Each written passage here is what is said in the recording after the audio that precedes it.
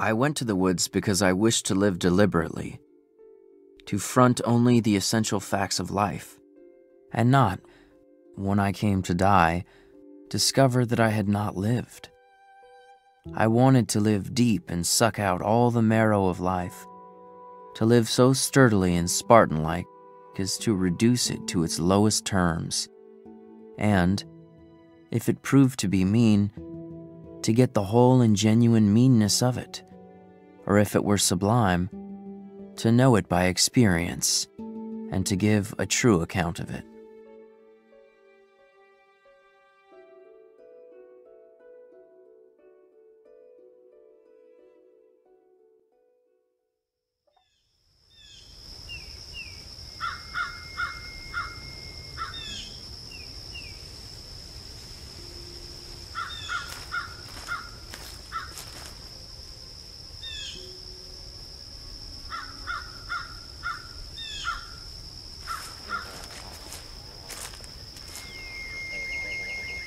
I wrote the following pages, or rather the bulk of them, I lived alone in the woods, a mile from any neighbor, in a house which I had built myself, on the shore of Walden Pond, in Concord, Massachusetts, and earned my living by the labor of my. When I first took up my abode in the woods, my house was not finished. It was a pleasant hillside where I worked, covered with pine woods, through which I looked out on the pond and a small open field in the woods where pines and hickories were springing up.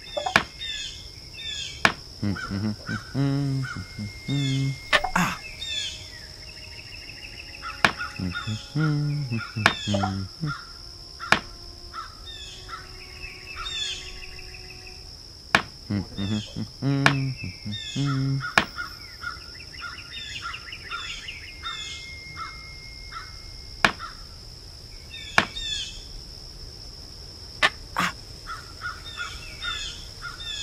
Henry!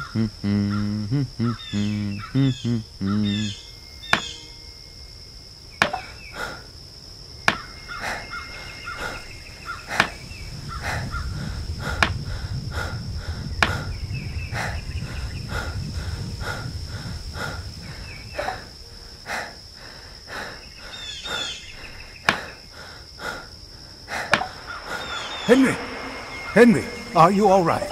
Henry!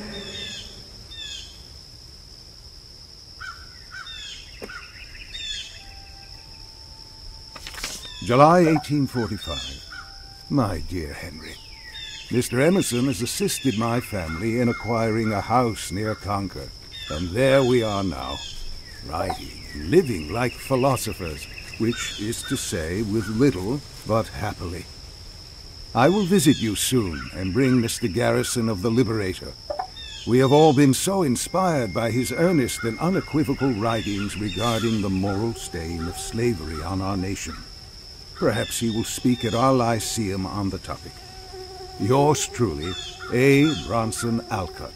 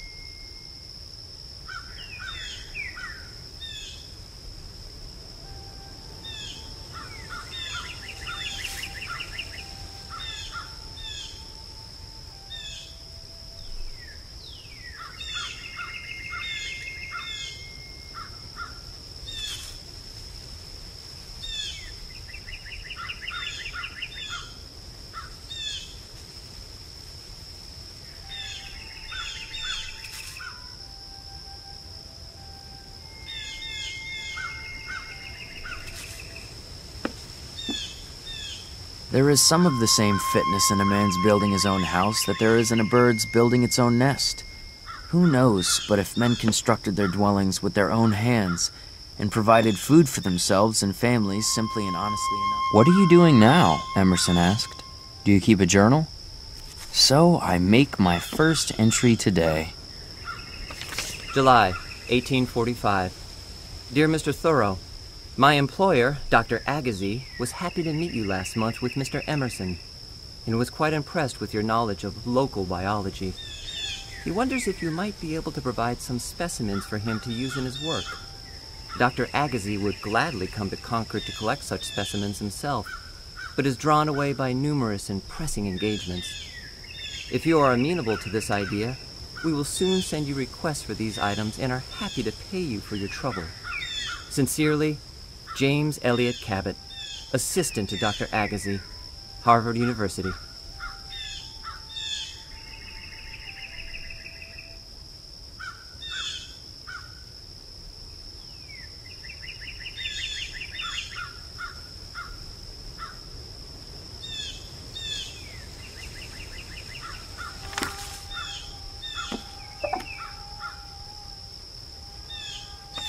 July 4th, 1845. Dearest Henry, congratulations on the start of your experiment. I hope that the work goes well and the ideas are fruitful. Mr. Emerson says you are intent to devour yourself in our woods, but I hope that you will remember to take good care and keep yourself well. Mother worries, as do I. Your loving sister, Sophia.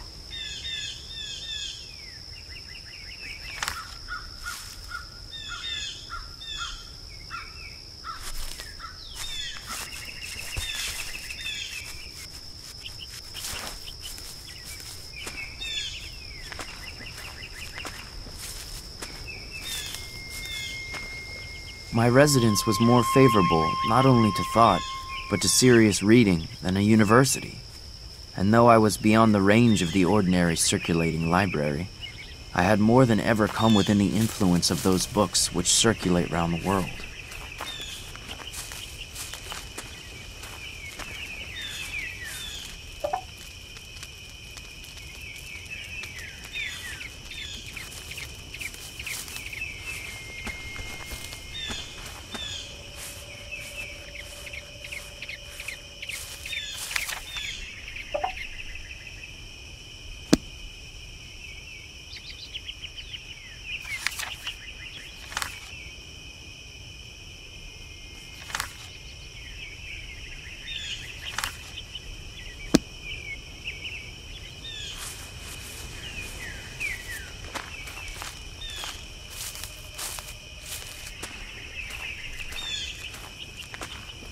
The grand necessity, then, for our bodies is to keep warm, to keep the vital heat in us.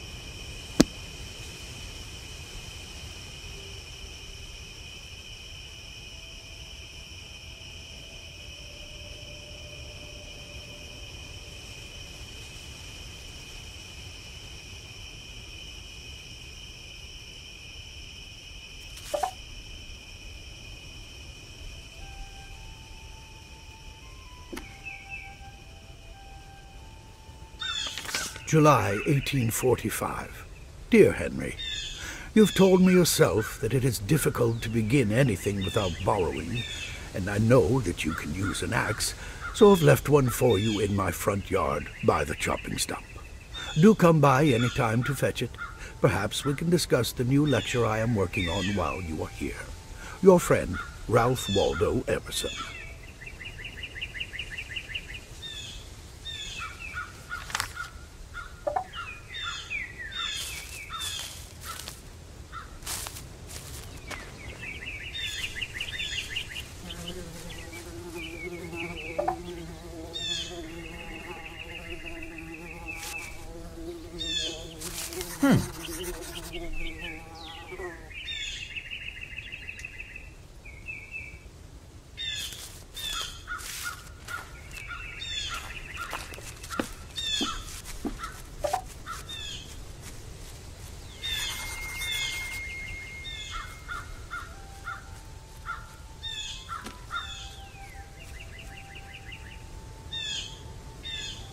I learned that it would cost incredibly little trouble to obtain one's necessary food, even in this latitude, that a man may use as simple a diet as the animals, and yet retain health and strength.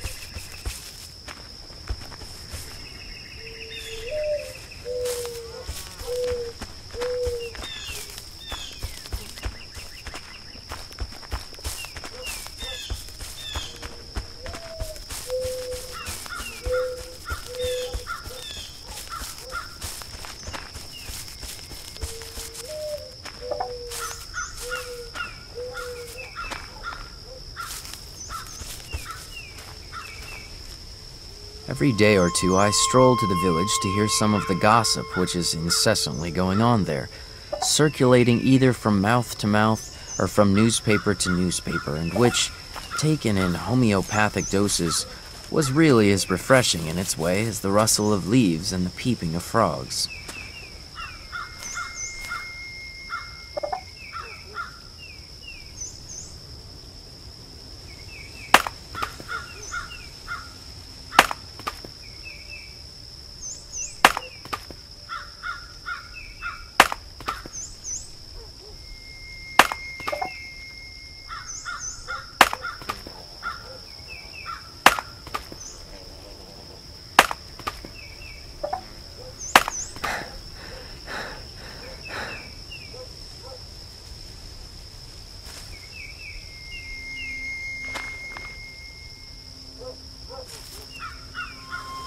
It's very good to make your acquaintance, Mr. Thoreau.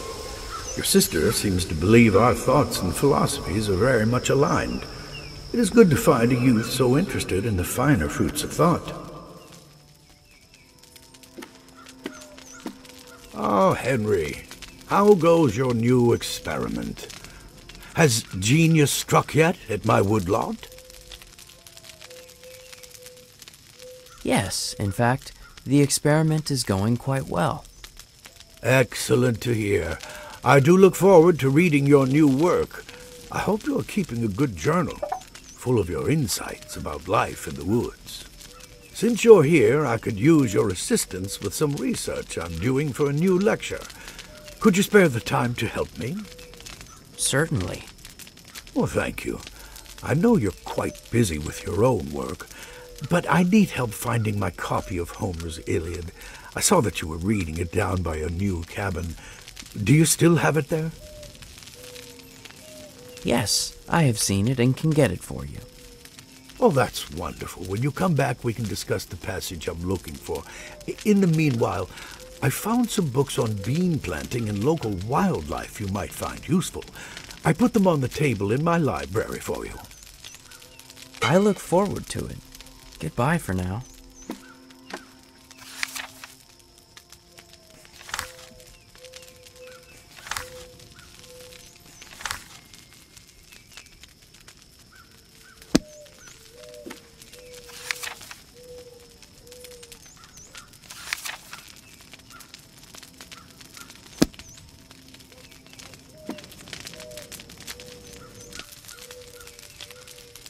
Afternoon.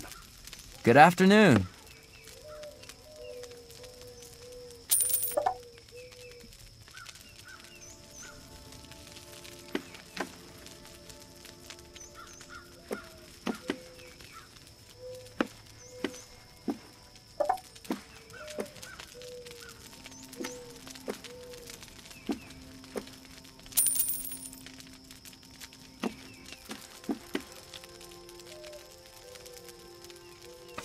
Recommendation for Henry David Thoreau.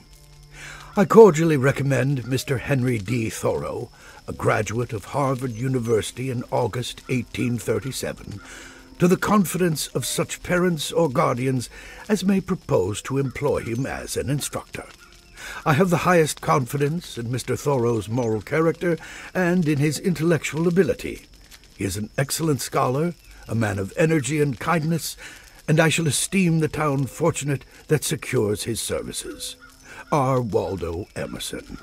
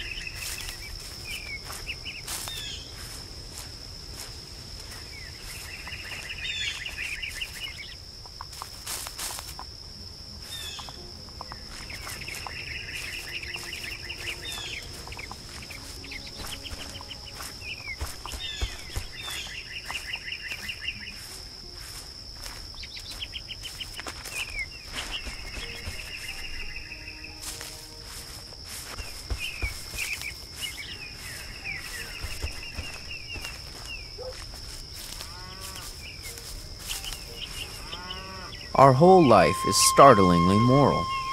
There is never an instant's truce between virtue and vice. Goodness is the only investment that never fails.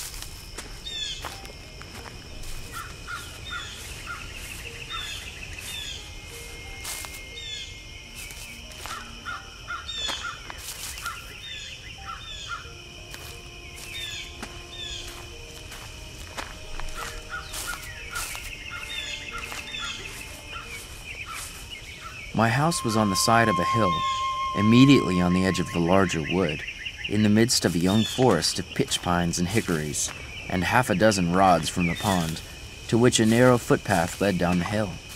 In my front yard grew the strawberry, blackberry, and life everlasting, John's wort and goldenrod, shrub oaks and sand cherry, blueberry and groundnut.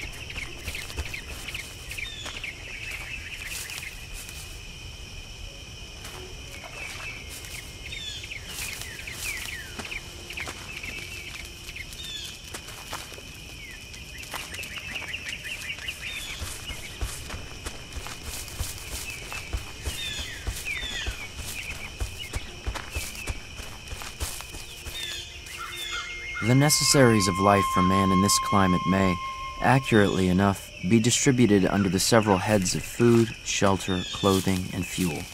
For not till we have secured these are we prepared to entertain the true problems of life with freedom and a prospect of success.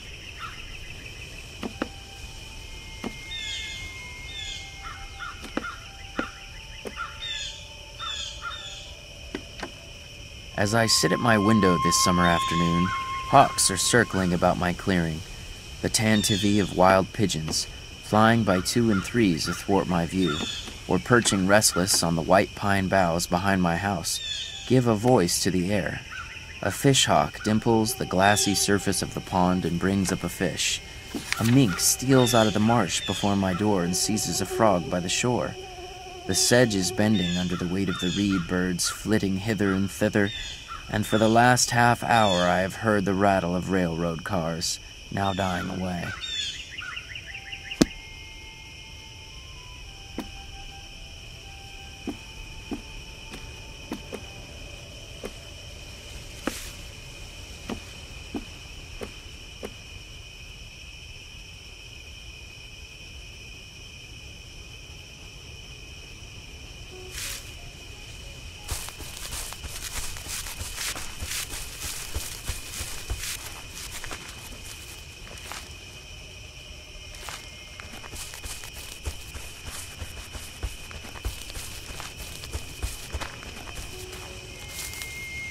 Was four years old, as I well remember, I was brought from Boston to this my native town, through these very woods in this field, to the pond. It is one of the oldest scenes stamped on my memory. And now tonight my flute has waked the echoes over that very water.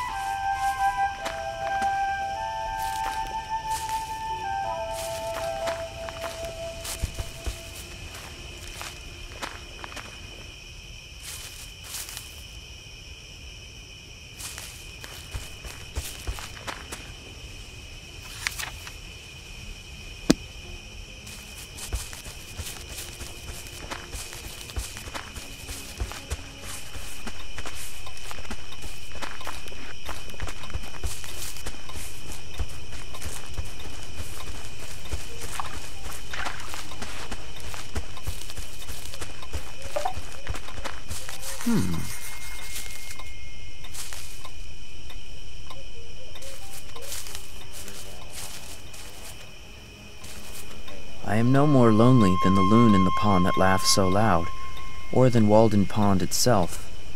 I am no more lonely than a single mullein or dandelion in a pasture, or a bean leaf, or a sorrel, or a horsefly, or a bumblebee.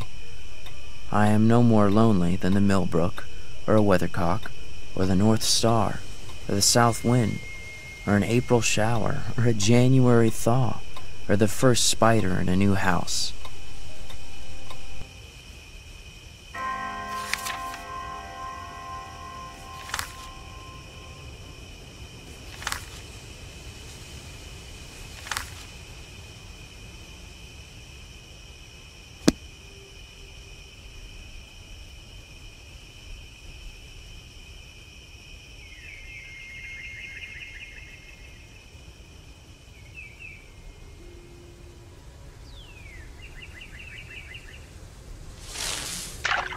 Ooh.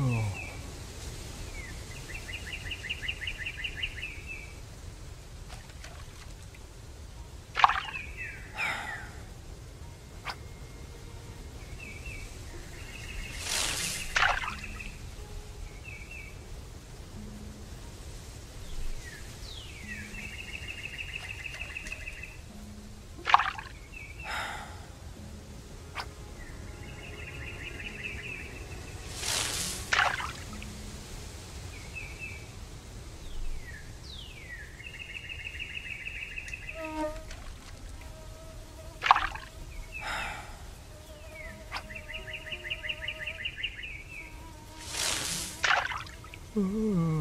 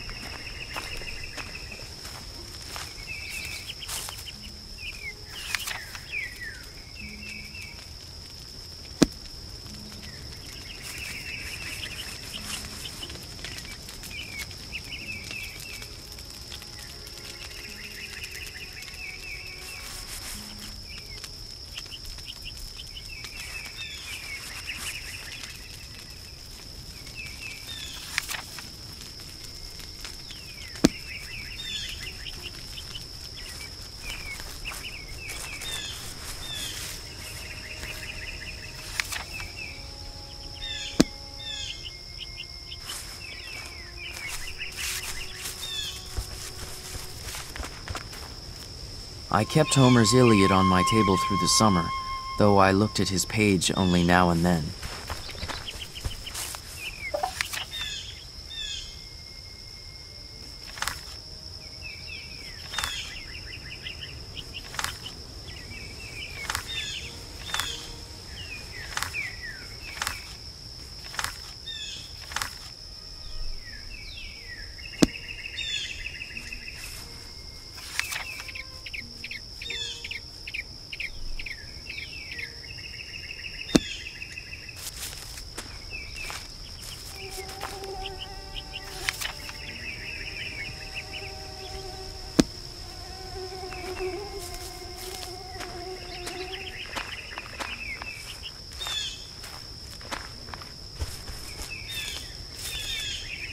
Regularly at half past seven, in one part of the summer, after the evening train had gone by, the whippoorwills chanted their vespers for half an hour, sitting on a stump by my door or upon the ridge pole of the house.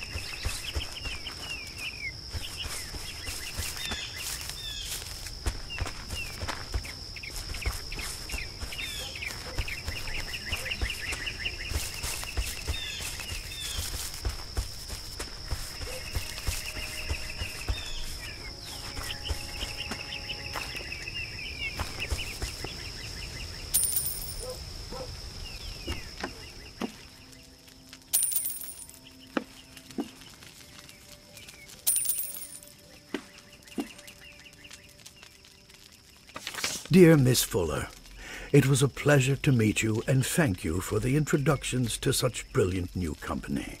I am sure that writers such as these will fill our new journal with rays of golden talent. I have another name to add to the roster of our dial Mr. Henry David Thoreau, a fine, brave youth of this town from whom I expect great things. I will send you some of his work soon. My son, young Waldo, is very well, and wife Lydian sends her love. R. W. Emerson.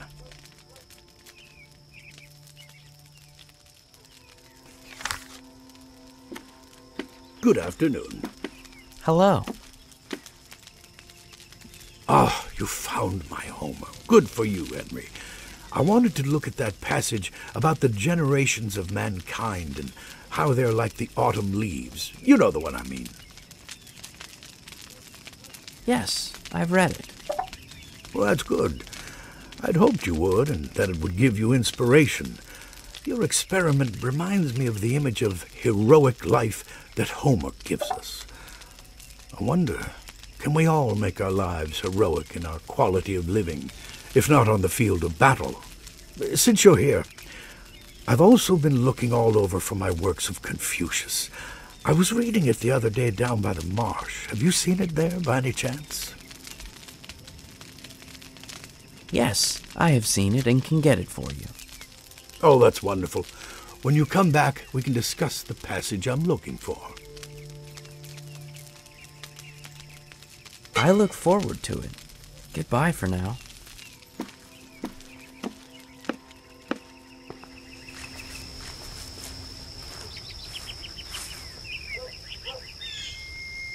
Men have become the tools of their tools. The man who independently plucked the fruits when he was hungry has become a farmer, and he who stood under a tree for shelter, a housekeeper. We now no longer camp as for a night, but have settled down on earth and forgotten heaven.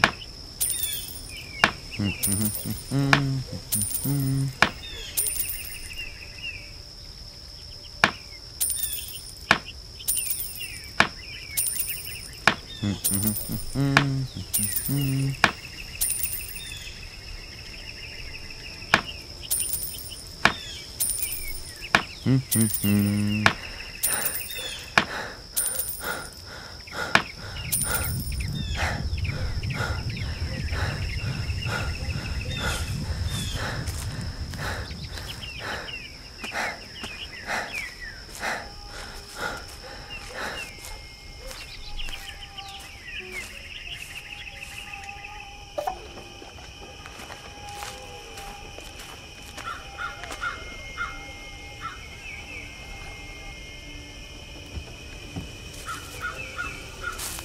As I walked in the woods to see the birds and squirrels, so I walked to the village to see the men and boys. Instead of the wind among the pines, I heard the carts rattle. In one direction from my house, there was a colony of muskrats in the river meadows. Under the grove of elms and buttonwoods in the other horizon was a village of busy men, as curious to me as if they had. Oh, here come John and Henry, Mother, back from their adventures. How was it? Did the boat sail well? Did you see beyond the horizon? Oh, you both look full of good sun and stories. I can't wait to hear them all. Tell what new flowers you found blooming first.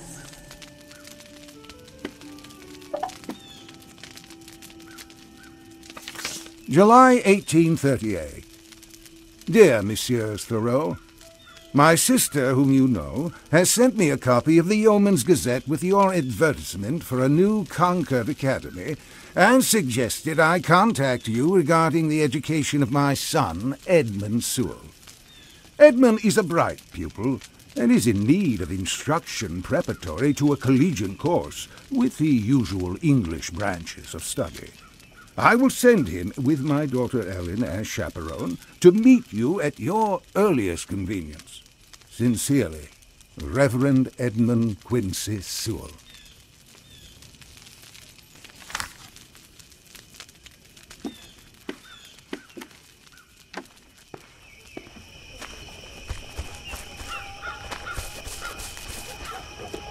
Society is commonly too cheap. We meet at the post office and at the sociable and about the fireside every night. We live thick and are in each other's way, and stumble over one another, and I think that we thus lose some respect for one another.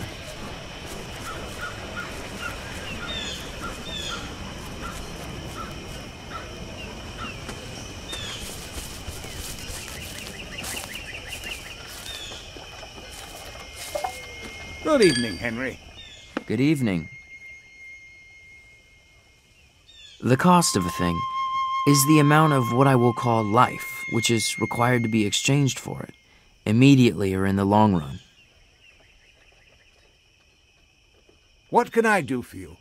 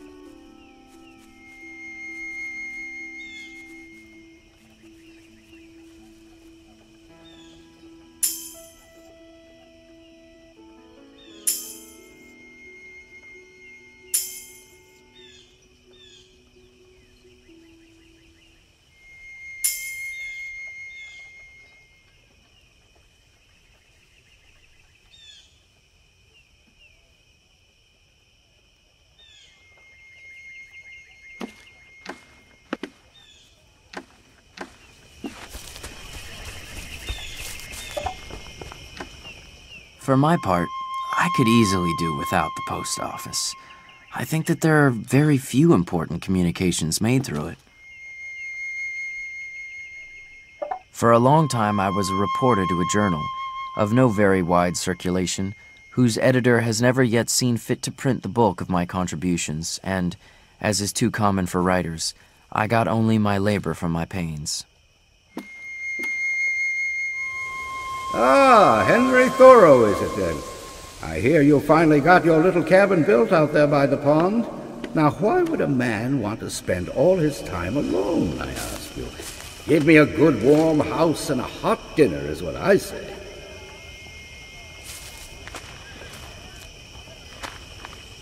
The village appeared to me a great newsroom, and on one side, to support it, as once at Redding and Company's on State Street, they kept nuts and raisins, or salt and meal and other groceries.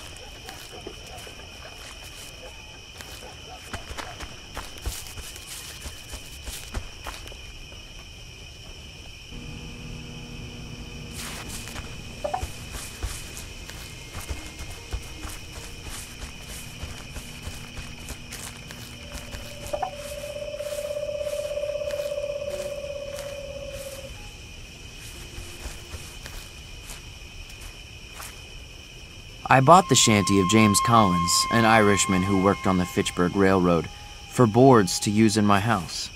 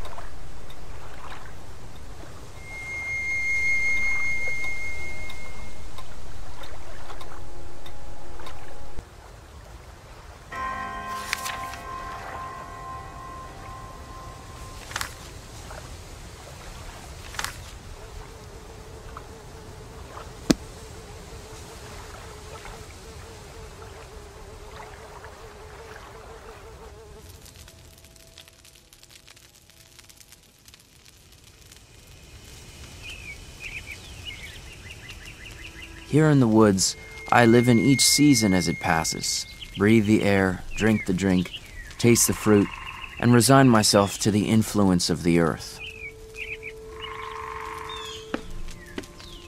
I was as much affected by the faint hum of a mosquito making its invisible and unimaginable tour through my apartment at earliest dawn as I could be by any trumpet that ever sang of fame. When I return to my house, I find that visitors have been there and left their cards. Either a bunch of flowers, or a wreath of evergreen, or a name in pencil on a yellow walnut leaf, or a chip. August 1845. Dear Henry, don't forget that we care for you and miss you at home. Should you visit, I have left a surprise for you on the game table, as I know you love a good challenge. Stay safe and healthy. Your sister, Sophia.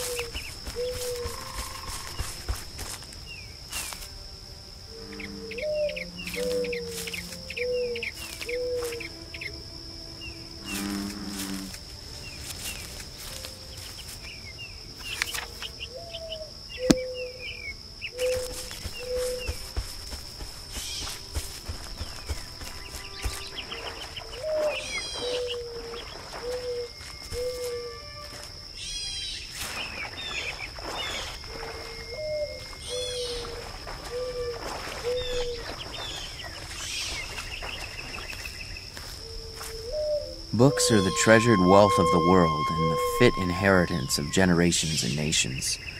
Books, the oldest and the best, stand naturally and rightfully on the shelves of every cottage. Confucius said, To know that we know what we know, and that we do not know what we do not know, that is true knowledge.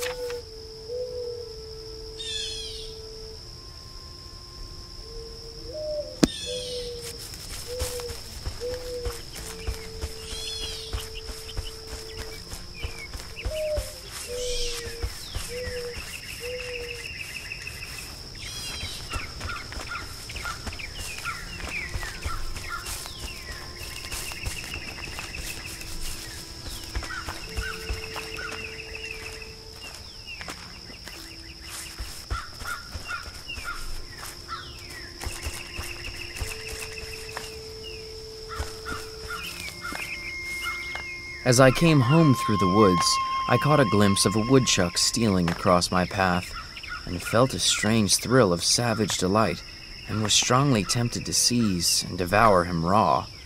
Not that I was hungry then, except for that wildness which he represented.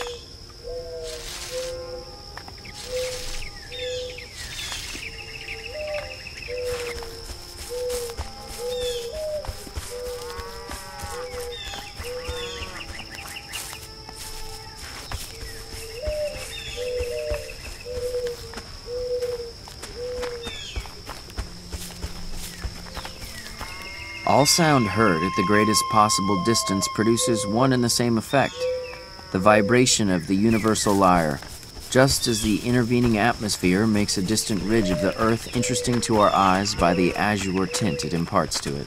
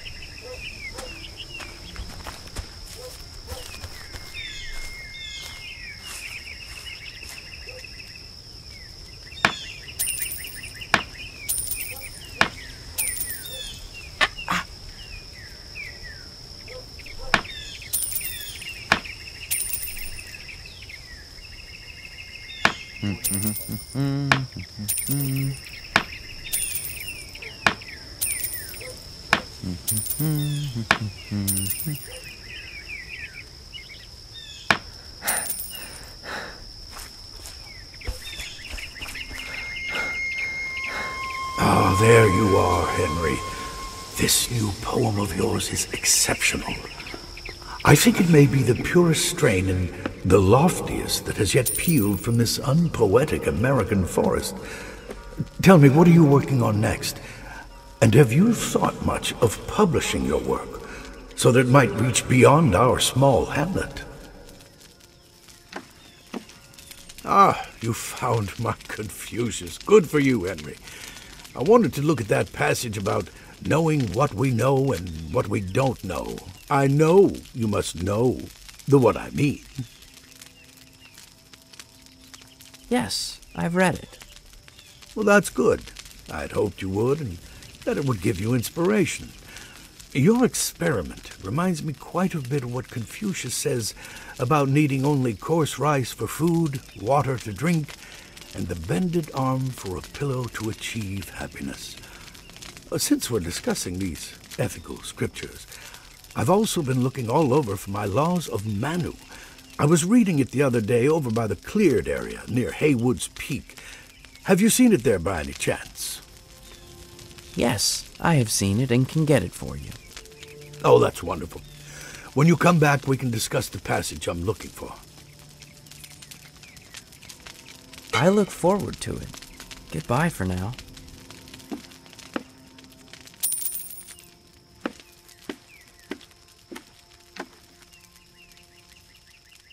My dear Miss Fuller, it is good to hear from you that work on the next issue of The Dial proceeds. I'm sending you a new piece that my young friend Thoreau has written for our journal. Talk with him but a few hours, and you will find him a remarkable person, I am certain. He is a treasured companion, and I have had the most memorable conversations with him about nature and all else. We are all well, and young Waldo sends you his love. R. W. Emerson.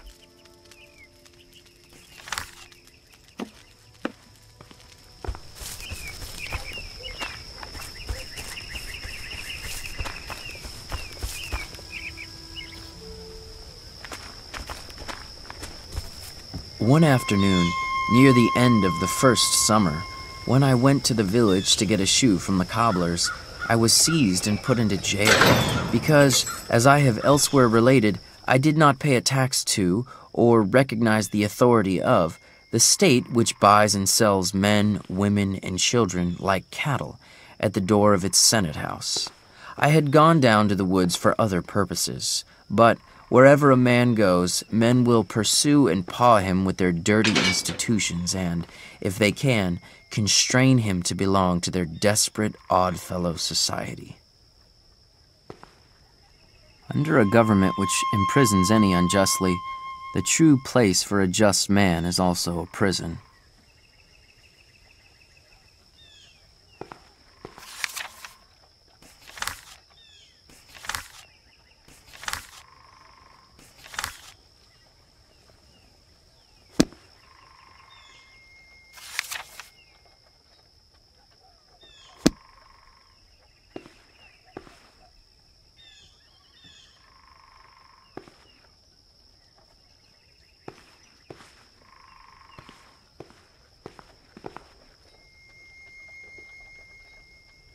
I have paid no poll tax for six years. I was put into a jail once on this account for one night, and as I stood considering the walls of solid stone, two or three feet thick, the door of wood and iron a foot thick, and the iron grating which strained the light, I could not help being struck with the foolishness of that institution which treated me as if I were mere flesh and blood and bones to be locked up. I did not for a moment feel confined, and the wall seemed a great waste of stone and mortar.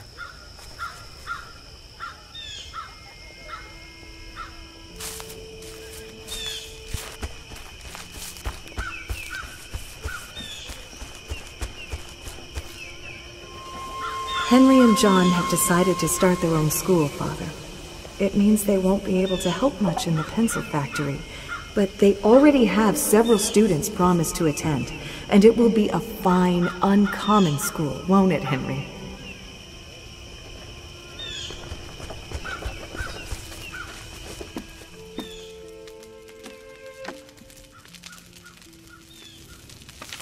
Dear Henry, I have set a little game for you based on our own favorite board, the woods. Here is the first piece of the puzzle.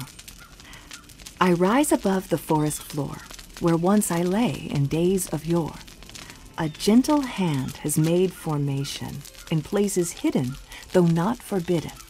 Come find me if you seek inspiration. Bon chance, Sophia.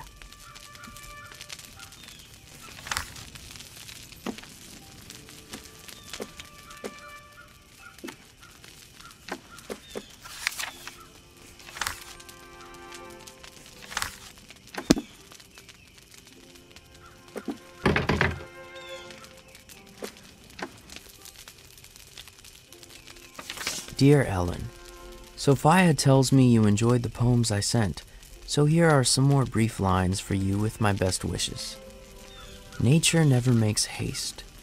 Her systems revolve at an even pace. The bud swells imperceptibly, without hurry or confusion, as though the short spring days were an eternity. Why then should man hasten, as if anything less than an eternity were allotted for the last deed? As the wise man is not anxious that time wait for him, neither does he wait for it. Henry Thoreau.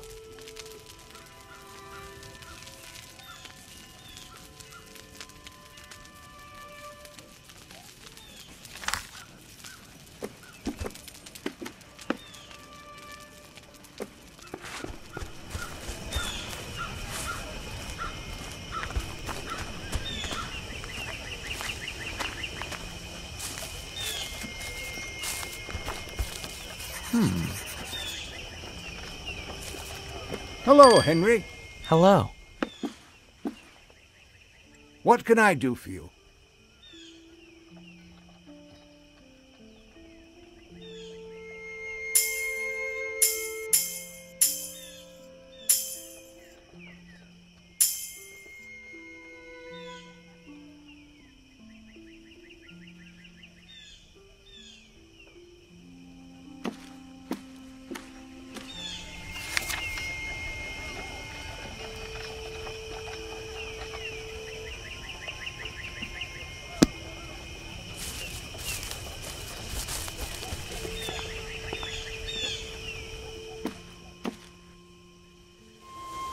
Hello then, Henry. Here for your mail or just snooping for news?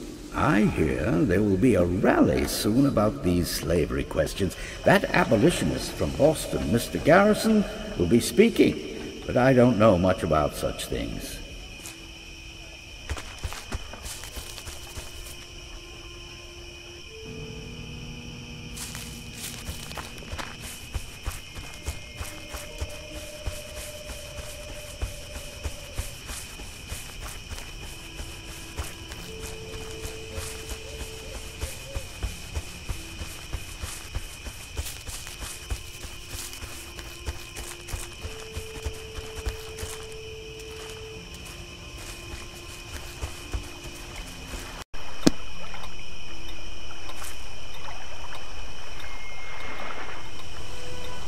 Good evening.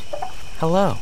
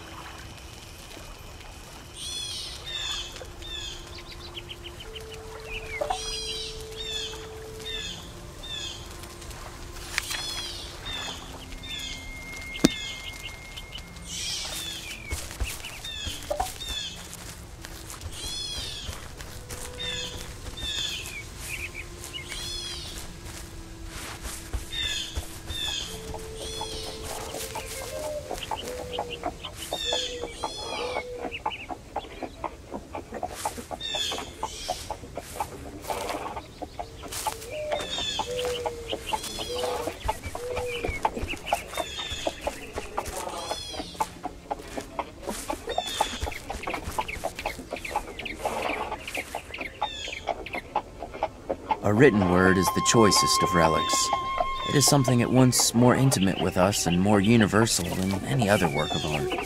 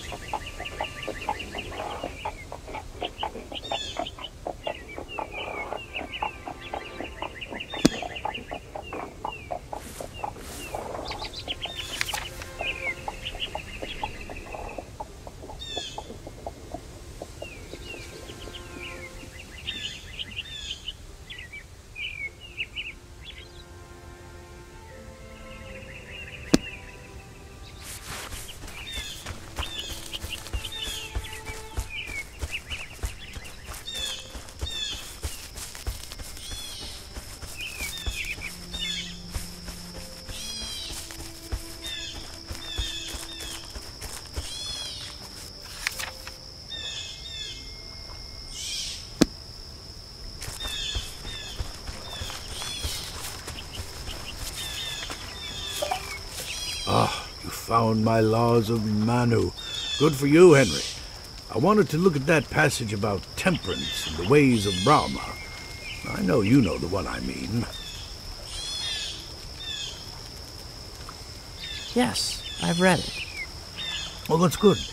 I'd hoped you would, and that it would give you inspiration. I wonder if this text, one of the four works of supreme authority for the Hindus, doesn't speak directly to your own experiment. As Manu says, resignation of all pleasures is far better than the attainment of them. It's so vital for us to read the wisdom of all the ancient philosophers. Oh, speaking of which, I'm also looking for my Plato. I was reading it the other day down on the northwest shore of the pond. Have you seen it there by any chance? Yes, I have seen it and can get it for you. That's wonderful. When you come back, we can discuss the passage I'm looking for. I look forward to it. Goodbye for now.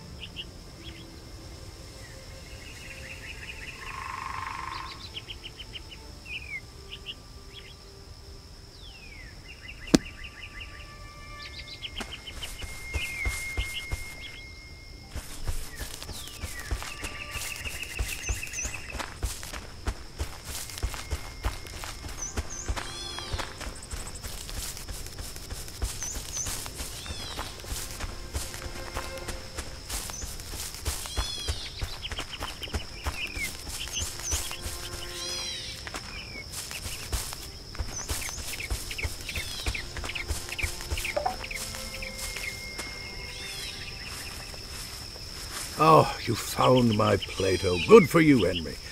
I wanted to look at that passage about men's blindness to truth and the allegory of the cave. I know you know the one I mean. Yes, I've read it. That's good.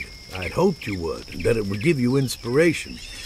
Your own experiment is much like that of the man who leaves the cave and goes into the light, don't you think? And the rest of us, living in our safe houses, are the men left in the dark. I hope you won't think less of us for not braving the woods full time. Speaking of the woods, I've been searching them in vain for my Bhagavad Gita. I was reading it out near the Fairyland meadow and seem to have lost it. Have you seen it by any chance?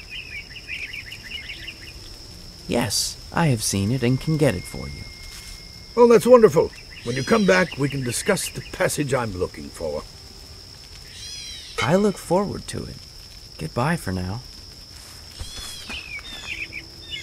I had more visitors while I lived in the woods than at any other period in my life. I mean that I had some.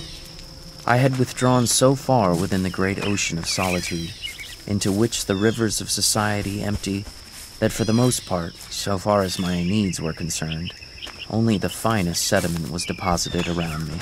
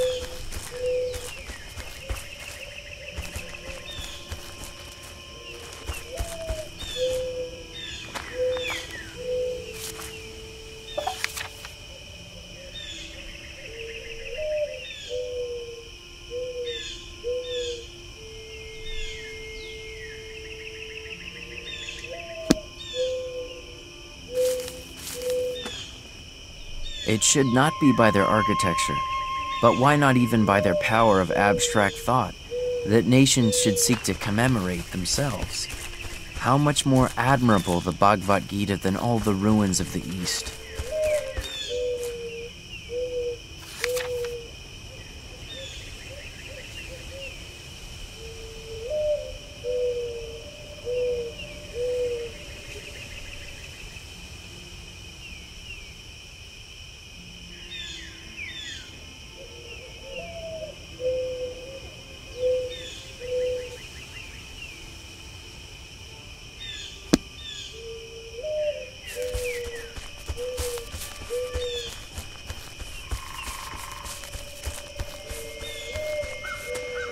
For the most part, I minded not how the hours went.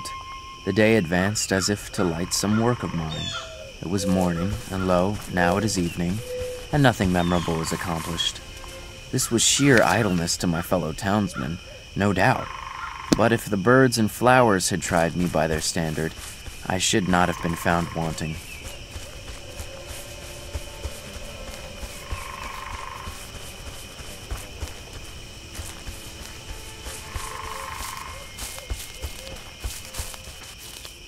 One day, I came upon the moldering wreck of a boat, the sides gone, and hardly more than the impression of its flat bottom left amid the rushes. Yet its model was sharply defined, as if it were a large decayed pad with its veins. It was as impressive a wreck as one could imagine on the seashore, and had as good a.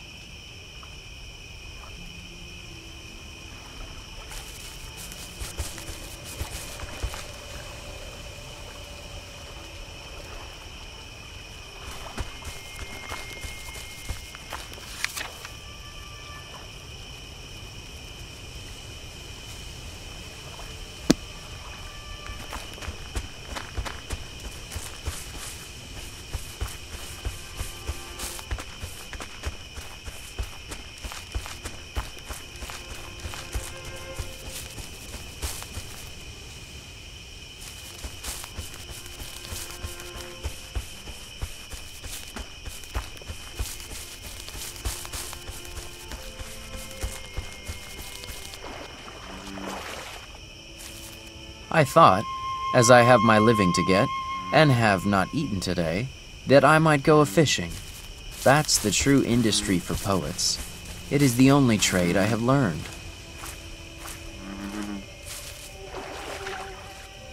Ah, the pickerel of Walden. I'm always surprised by their rare beauty.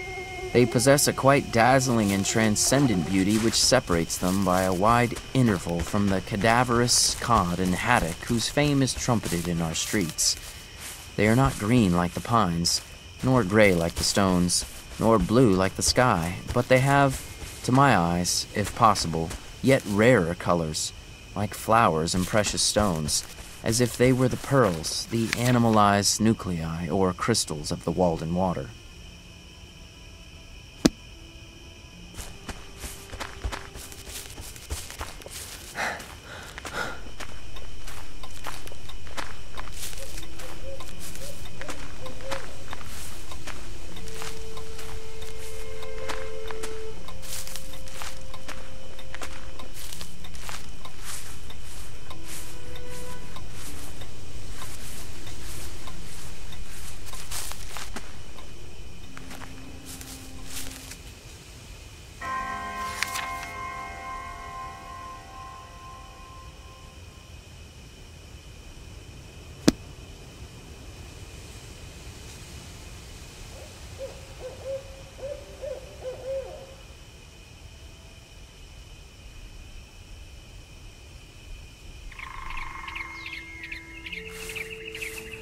To read well, that is, to read true books in a true spirit, is a noble exercise, and one that will task the reader more than any exercise which the customs of the day esteem. It requires a training such as the athletes underwent, the steady intention almost of the whole life to this object. Books must be read as deliberately and reservedly as they were written. The whistles of the locomotive penetrates my woods summer and winter, sounding like the scream of a hawk sailing over some farmer's yard. Here come your groceries, country, your rations, countrymen, and here's your pay for them, screams the countryman's whistle. All the Indian huckleberry hills are stripped. All the cranberry meadows are raked into the city. Up comes the cotton, down goes the woven cloth. Up comes the silk, down goes the woolen. Up comes the books, but down goes the wit that writes them. I watch the passage of the morning cars with the same feeling that I do the rising of the sun, which is hardly more regular. Their train of clouds stretching far behind and rising higher and higher, going to heaven while the cars are going to Boston.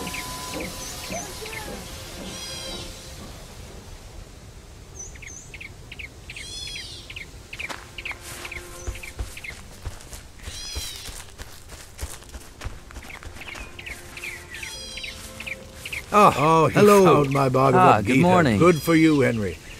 I wanted to look at that passage about the banyan tree that has its boughs beneath and its roots above. I know you know the one I mean. Yes, I've read it. That's good. I had hoped you would, and that it would give you inspiration. I think you might be like the banyan tree, Henry, with its leaves all green and waving hymns which whisper truth. That is, if you keep your plan and don't waste your days away huckleberrying. Doesn't the Bhagavad Gita say that he who knows the banyan tree knows Veds and all? I've been looking for my Rig Veda, by the way. I was reading it the other day down by the southern shore of the pond. Have you seen it there by any chance? Yes, I have seen it and can get it for you. Oh, that's wonderful. When you come back, we can discuss the passage I'm looking for. I look forward to it. Goodbye for now.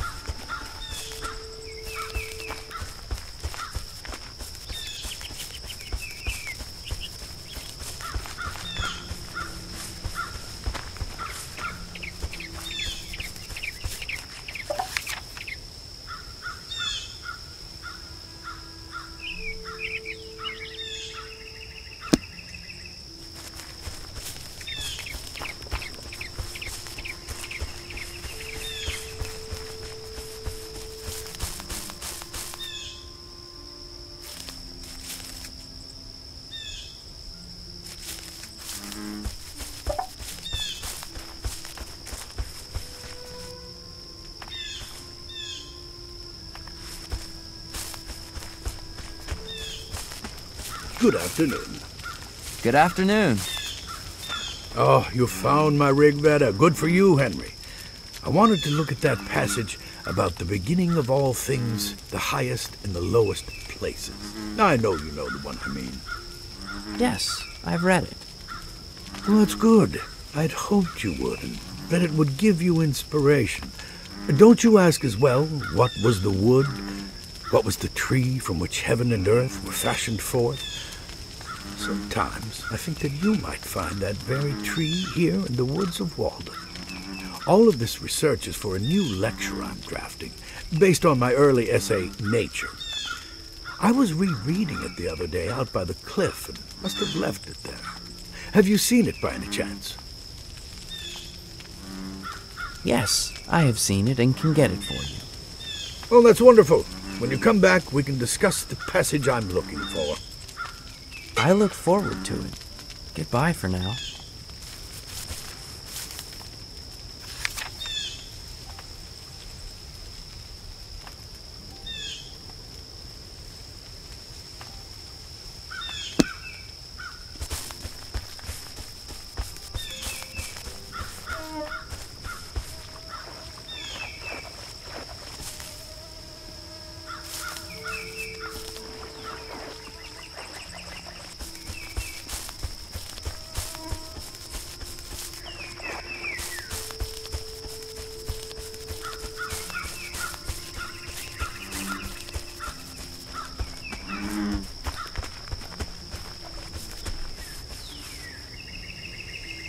I have sometimes disturbed a fishhawk sitting on a white pine over the water, but I doubt if it is ever profaned by the wind of a gull, like Fairhaven.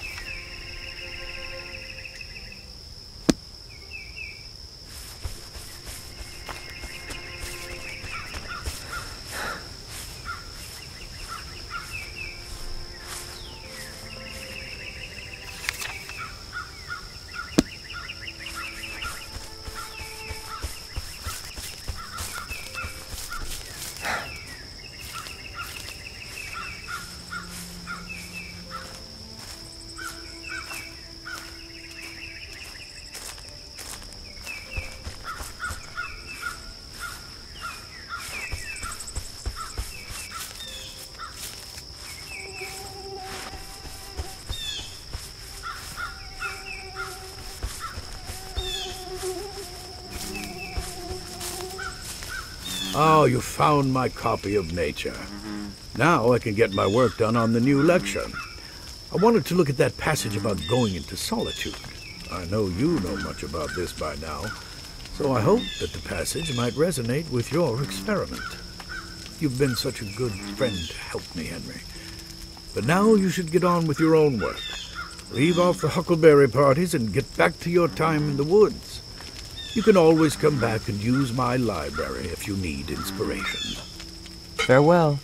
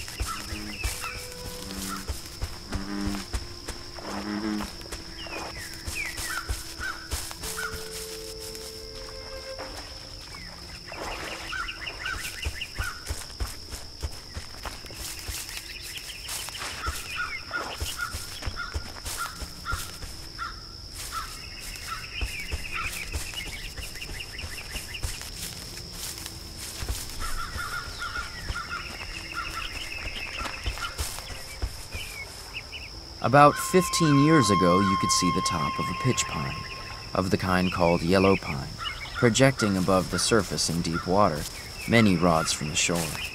It was even supposed by some that the pond had sunk, and this was one of the primitive forests that formerly stood there.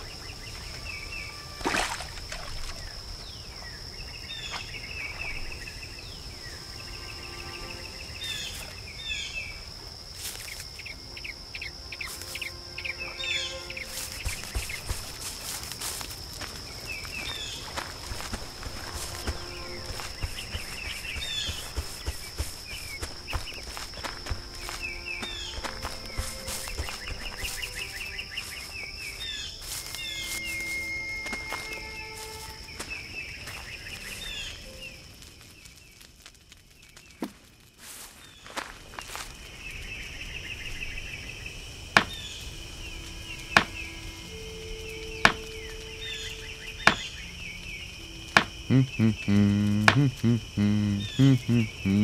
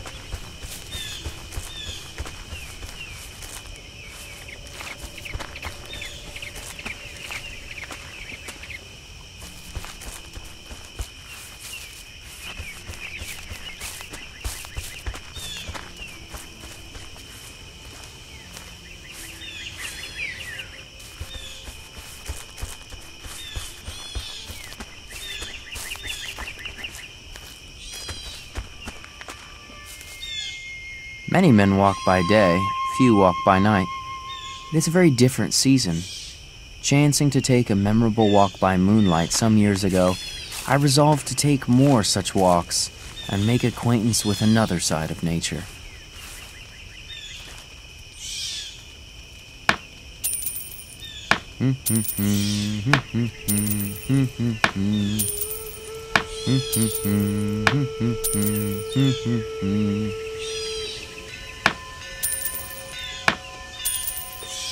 Mm-hmm. mm-hmm. mm-hmm. mm-hmm.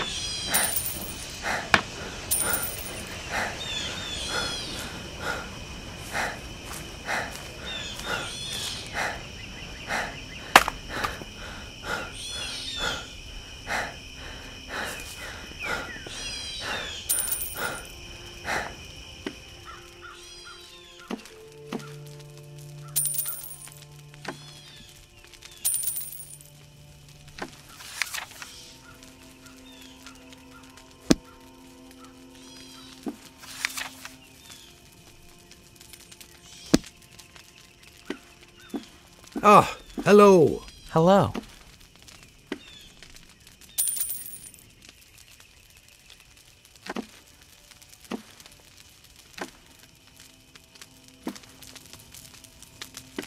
Ah, you're back, Henry.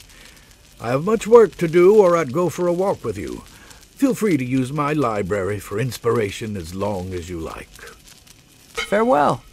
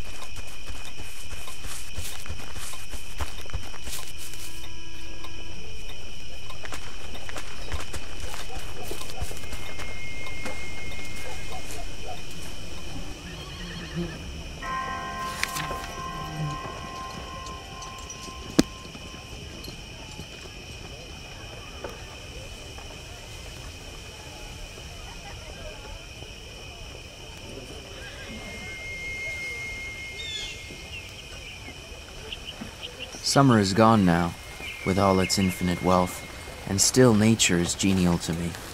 Though I no longer pluck so many berries on the hill, still I behold the same inaccessible beauty around me. I observed that the vitals of the village were the grocery, the barroom, the post office, and the bank, and, as a necessary part of the machinery, they kept a bell a big gun, and a fire engine at convenient places, and the houses were so arranged so that every traveler had to run the gauntlet, and every man, woman, and child might get a lick at him. Here is Miss Sewall, come to visit her brother at the school again. I don't know which of our two professors looks more handsome. Do you, Ellen? John and Henry are regular peacocks when you are here with us. Come, let's all go for a row on the pond and settle their feathers.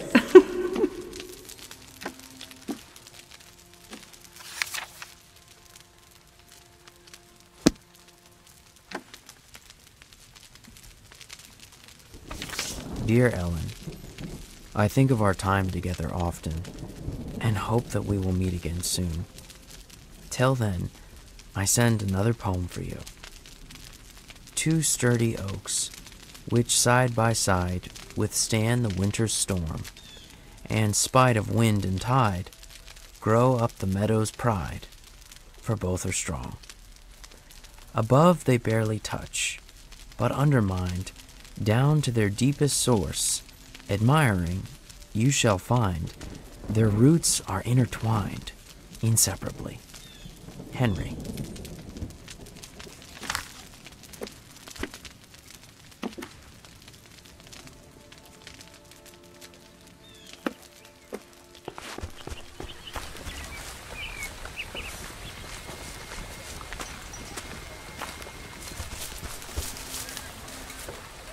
Signs were hung out on all sides to allure him.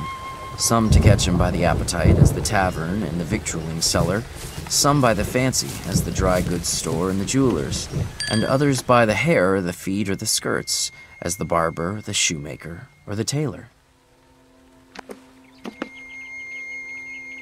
What can I do for you?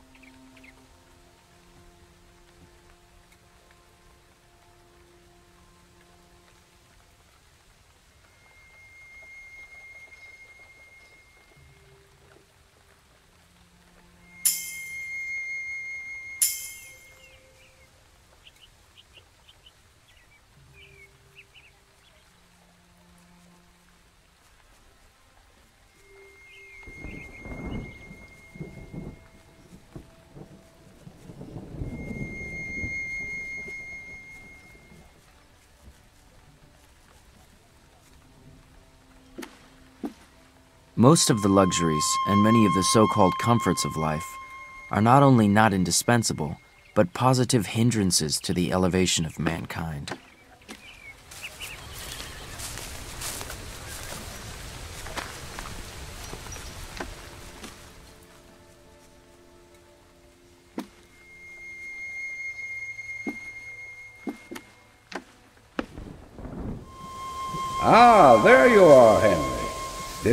Still squatting out there in the woods, then?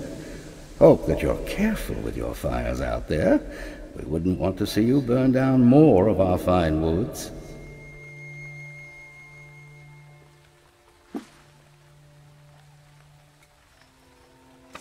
My dear Thoreau, believe me when I say that I have tried to do you the favor of getting your article into the hands of publishers but I have not had success in this errand, and have hardly a hope that it will be immediate, if ever. I know you have written a good thing, too good, I fear, to be profitable to yourself or attractive to publishers. I will remain your champion in these matters, however, and entreat you to send me that one piece you were working on when we met at your family home. Remember me to Ralph Waldo Emerson. Yours heartily, Horace Greeley.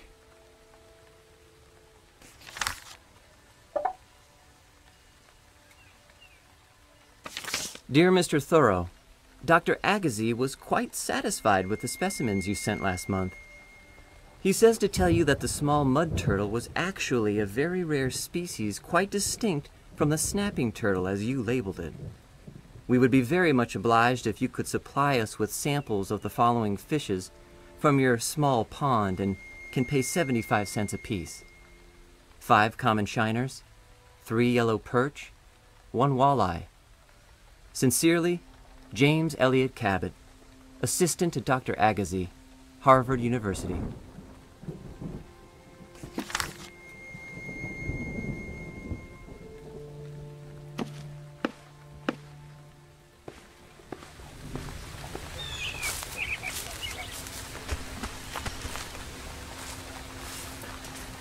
Have not men improved somewhat in punctuality since the railroad was invented? Do they not talk and think faster in the depot than they did in the stage office? To do things railroad fashion is now the byword.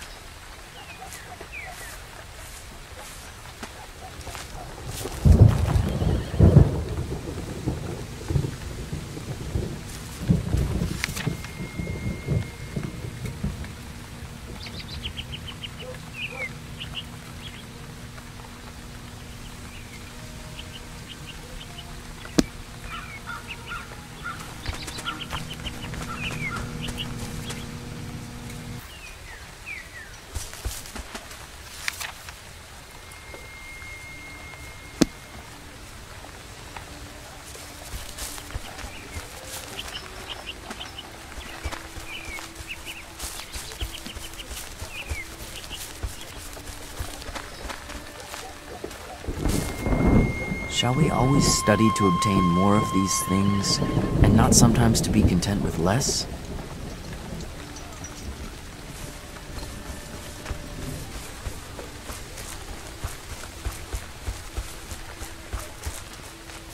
We boast that we belong to the 19th century and are making the most rapid strides of any nation.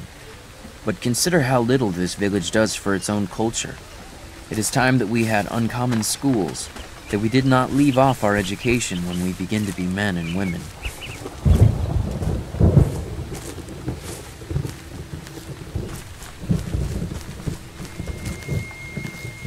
While civilization has been improving our houses, it has not equally improved the men who are to inhabit them.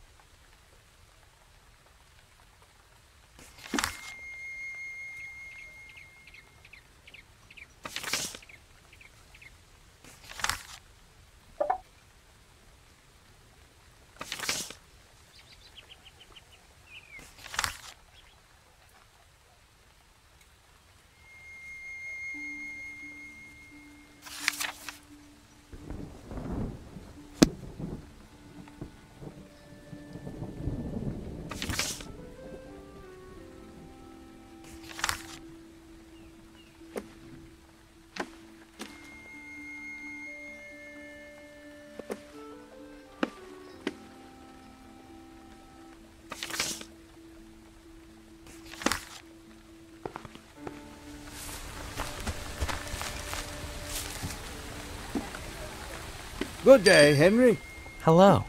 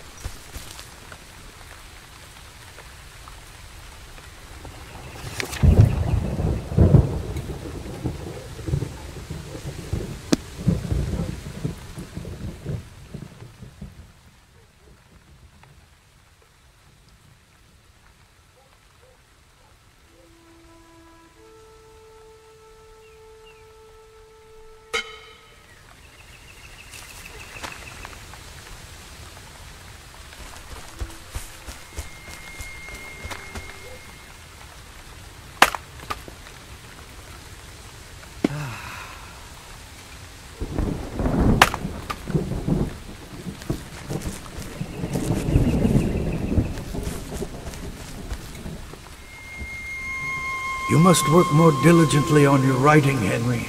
Don't be distracted with careless idles. Take care to discriminate between what appears and what is. Let others seem. Trust yourself to being. Open your senses and let nature think through you. Only then will you attain true culture. Dear Emerson, I think you might be interested in our friend Thoreau's thoughts on the subject of slavery in Massachusetts. He has much to say that makes good sense. I may encourage him to write these ideas down for publication in Mr. Garrison's Liberator. What do you think?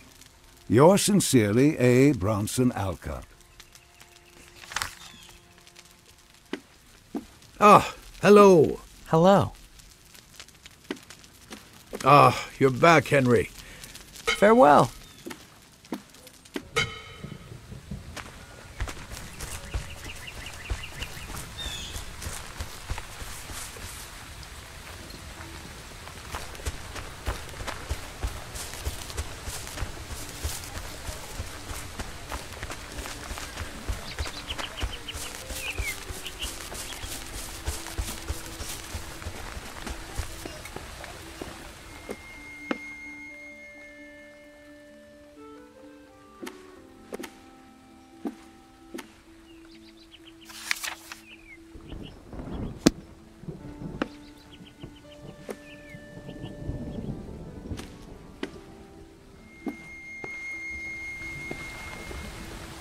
Mass of men lead lives of quiet desperation. What is called resignation is confirmed desperation. From the desperate city you go into the desperate country, and have to console yourself with the bravery of minks and muskrat.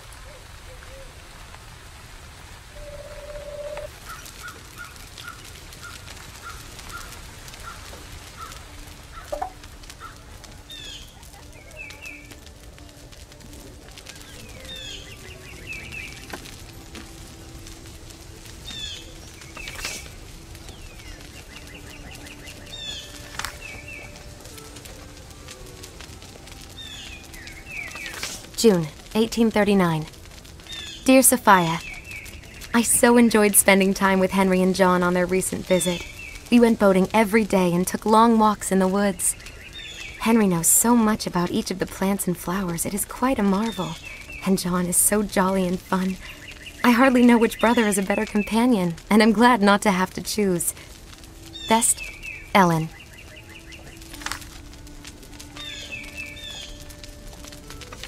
August 1838. Dear Sophia, It was so kind of your family to welcome us, and I hope we will see you all again soon. Edmund looks forward to starting his studies with your brothers, and I'm sure we will all see much more of each other. The poems Henry sent came safely and pleased us much. The sonnet entitled Beauty is my favorite. Best regards, Ellen Sewall.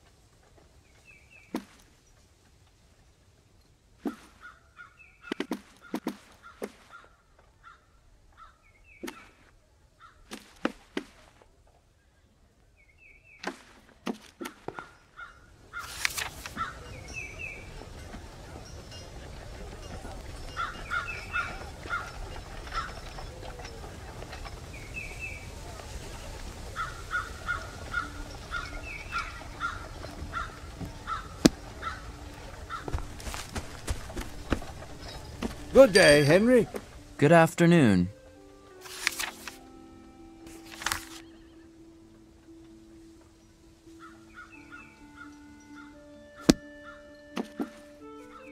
What can I do for you?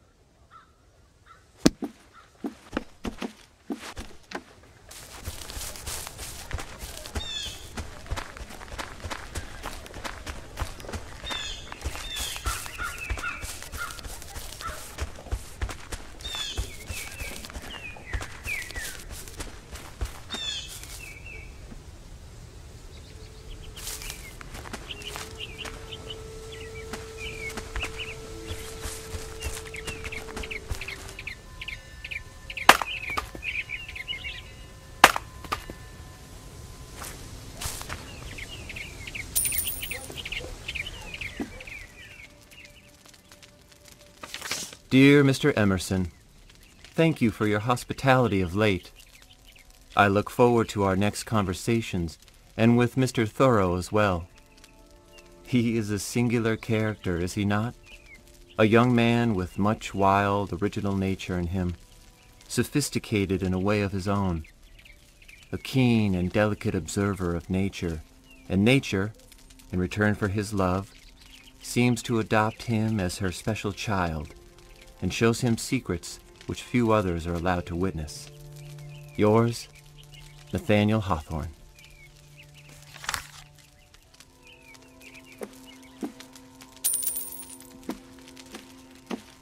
Ah, hello. Hello.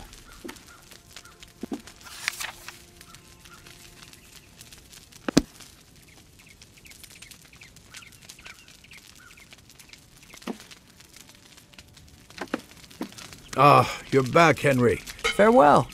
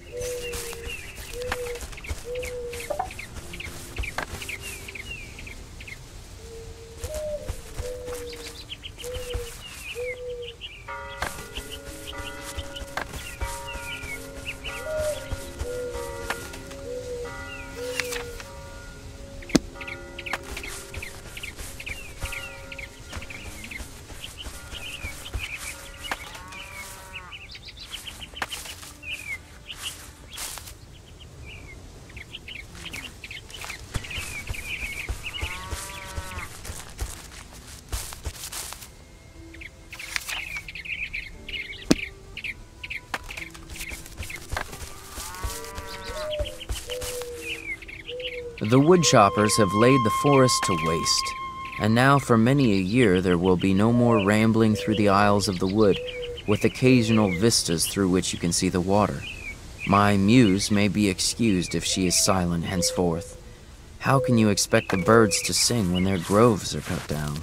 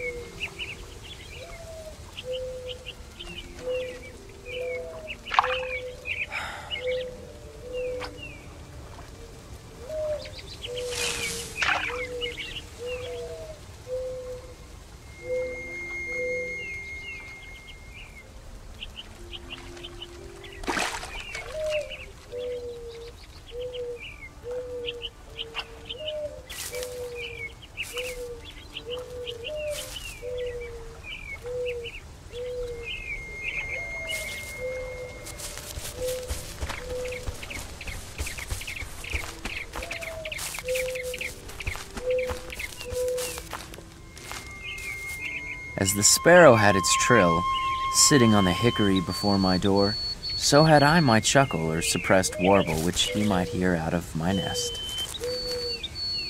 Interesting.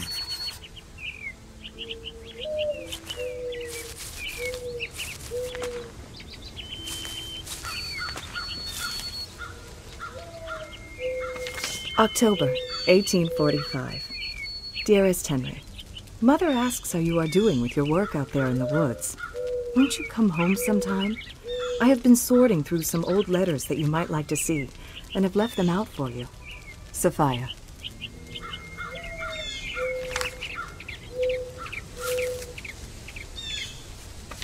Dear Henry, it seems like Concord is growing so rapidly these days.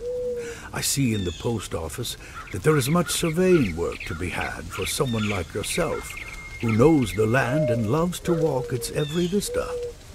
Of course, surveying does aid in the parceling up of your beloved woods, and yet it is a living that could keep you while you write and live close to nature. A difficult choice, certainly. Yours sincerely, R.W.E.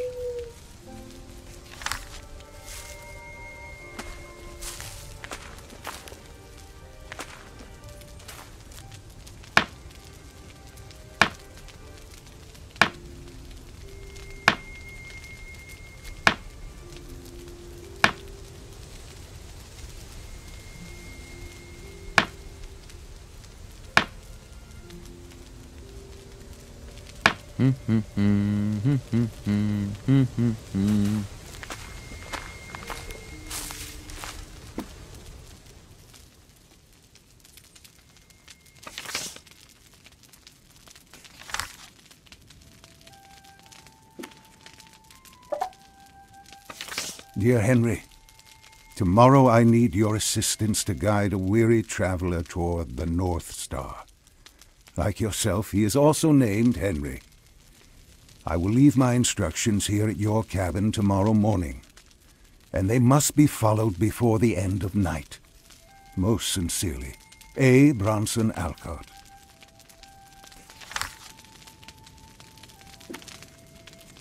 No man ever stood the lower in my estimation for having a patch in his clothes. Yet I am sure that there is greater anxiety commonly to have fashionable, or at least clean and unpatched clothes, than to have a sound conscience.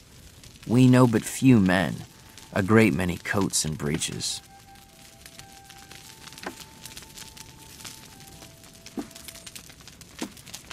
Before we can adorn our houses with beautiful objects, the walls must be stripped, and our lives must be stripped, and beautiful housekeeping and beautiful living be laid for a foundation. A taste for the beautiful is most cultivated out of doors, where there is no house and no housekeeper.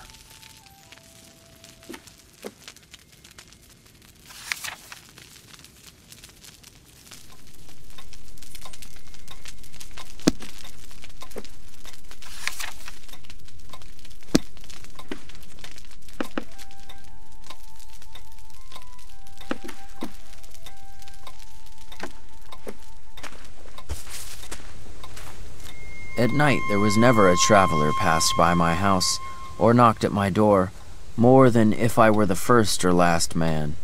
I believe that men are generally still a little afraid of the dark, though the witches are all hung, and Christianity and candles have been introduced.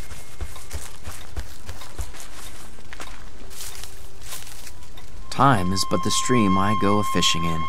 I drink at it, but while I drink, I see the sandy bottom and detect how shallow it is. Its thin current slides away, but eternity remains. I would drink deeper, fish in the sky, whose bottom is pebbly with stars. I cannot count one.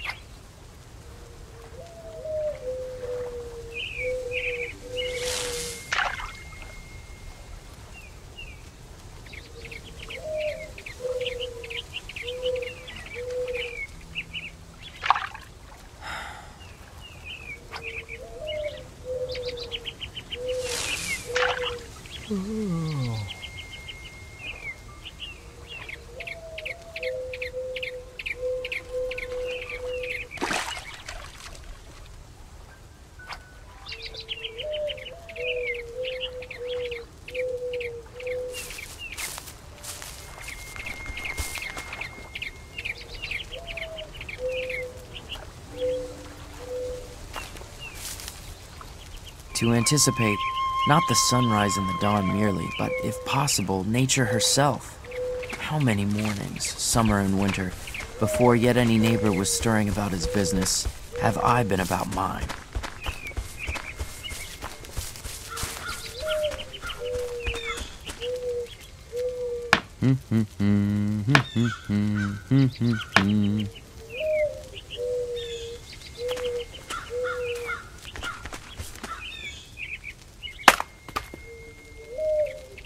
Ugh.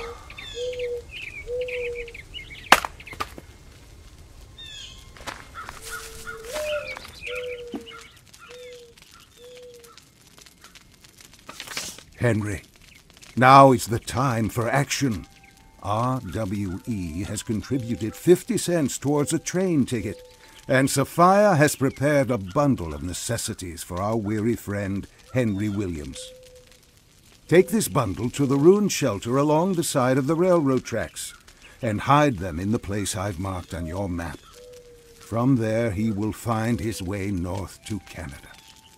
These must be placed before the end of night tonight. Yours sincerely, A. Bronson Alcott.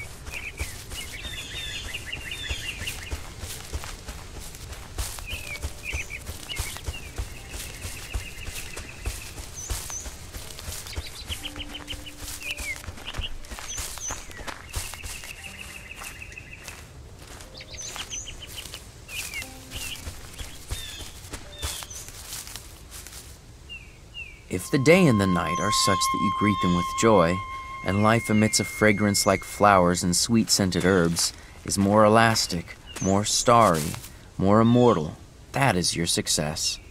All nature is your congratulation, and you have cause momentarily to bless yourself. I never found the companion that was so companionable as solitude. A man thinking or working is always alone. Let him be where he will. Solitude is not measured by the miles of space that intervene between a man and his fellows.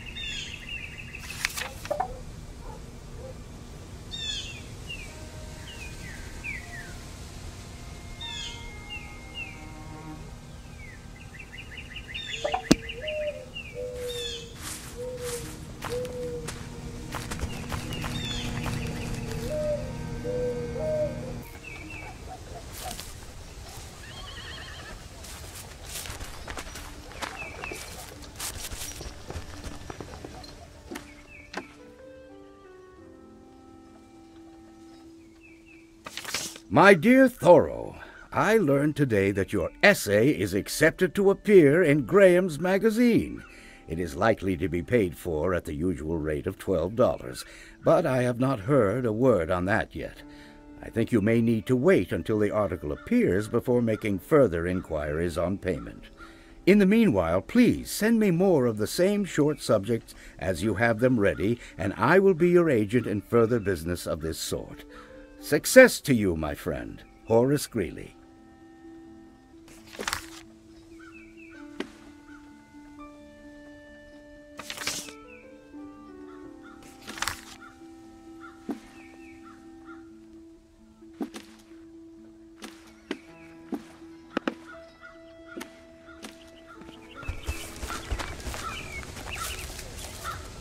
Good to see you, Henry.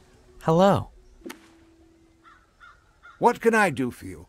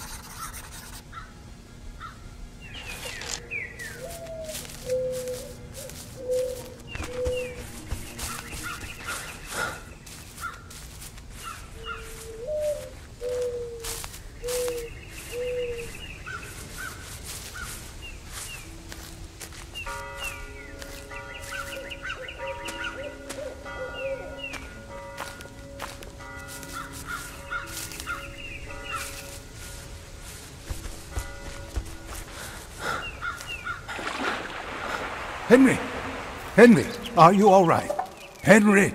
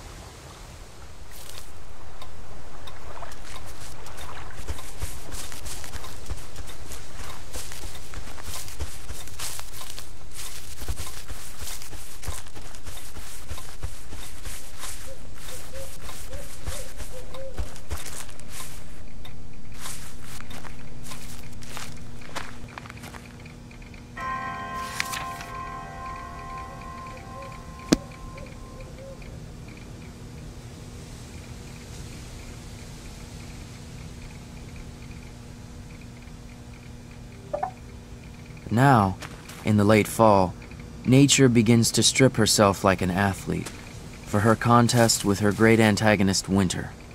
In the bare trees and twigs, I see such a display of muscle.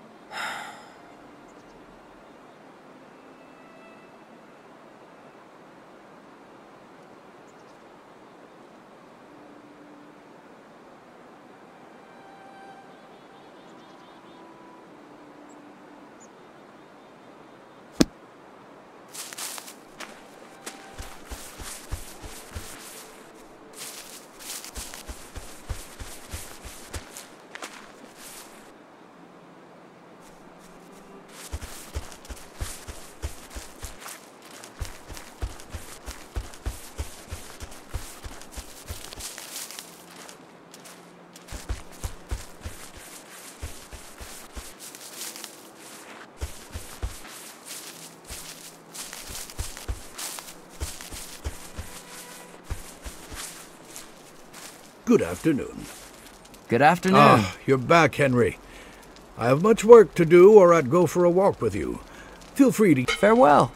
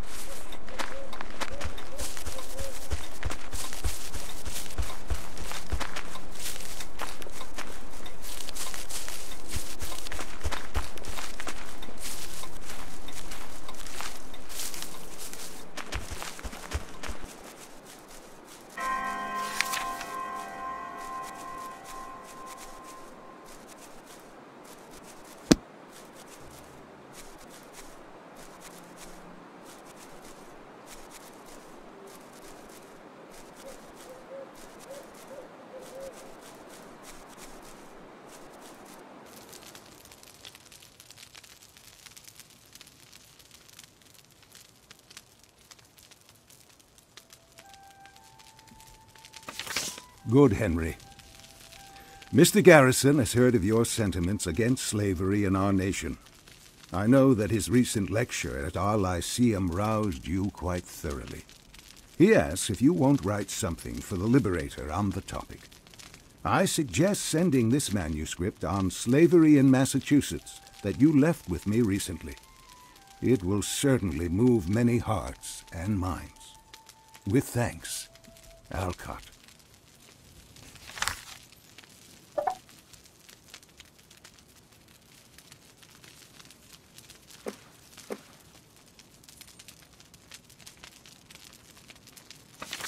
Many thanks, dear Henry. With your help, our friend, Henry Williams, found the supplies left for him and made his way on to town, where he was also assisted by your sister Sophia and your mother. They ministered to him with cheerfulness and devotion, and he is on his way north as I write. It is clear to me that, as Mr. Garrison says, the destiny of the slaves is in the hands of American women. Your friend, A. Bronson Alcott.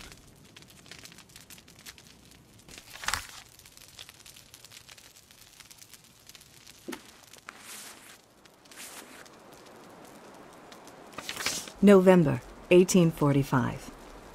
Henry, the seasons are turning now, and we all feel the coldness of time. Does the work progress? Do you think it will be done by spring?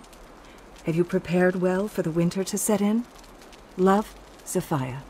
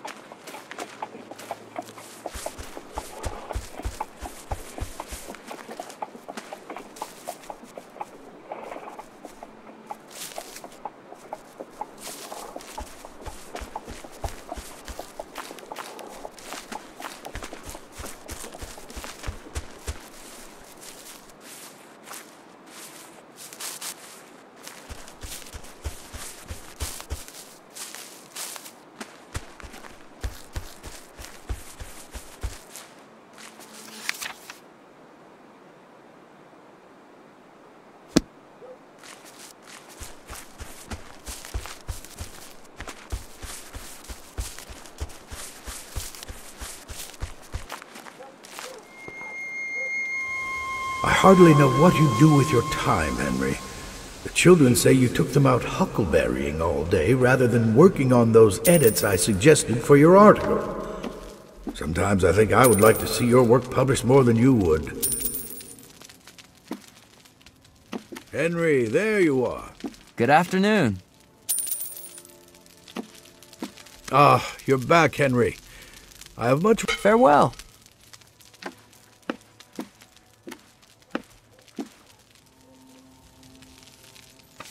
Dear Emerson, I thank you for your kind words on the dial and for sending the piece by Mr. Thoreau.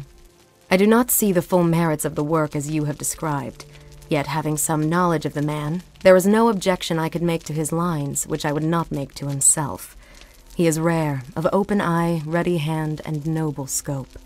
He sets no limits to his life, but is somewhat a bare hill, which the warm gales of spring have not yet visited. A wider and deeper human experience will mold the man and melt his verse. I can have no better advice for a person so sincere. Margaret Fuller.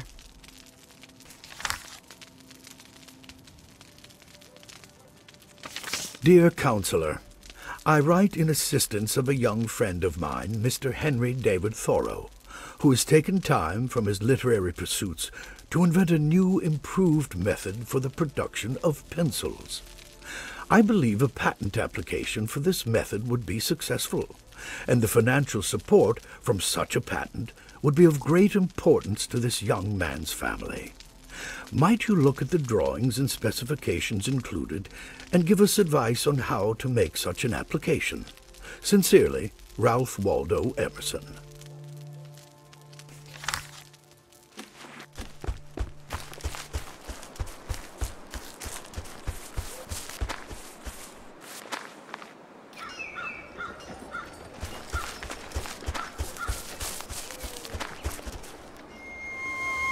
Don't let Ellen's rejection of your offer come between you, Henry.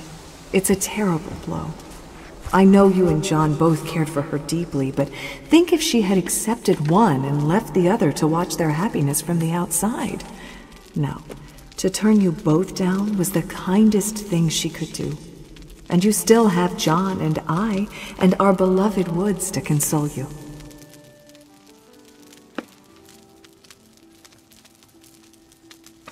November 1840. Dear Sophia, I have never felt so badly in my life as the day I refused Henry's letter of proposal.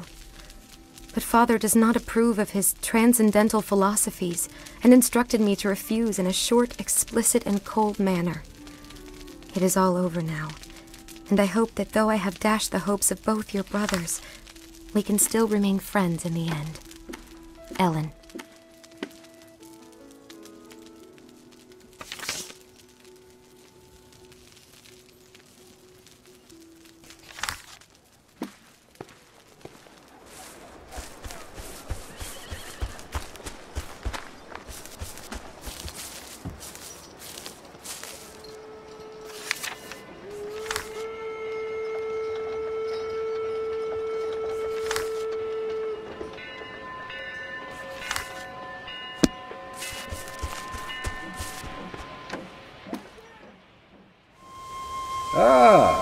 You are, Henry. I think your sister was just in and collected a letter from your old friend Miss Sewall. We haven't seen her much recently.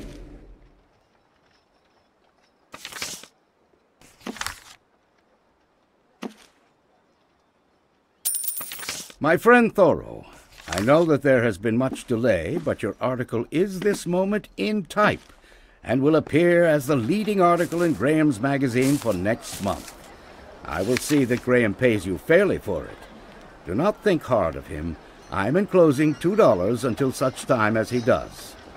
I propose that if you will sit down and write another article for me, I will give you twelve dollars for it on delivery, publish it, and leave you the copyright. Do not write too long, or more quickly than you can think, for that will not work for the magazines. Yours, Horace Greeley.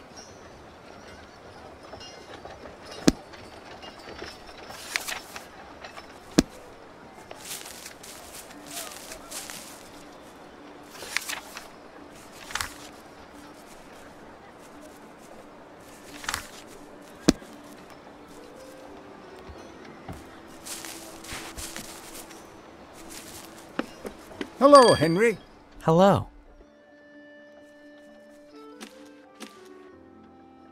What can I do for you?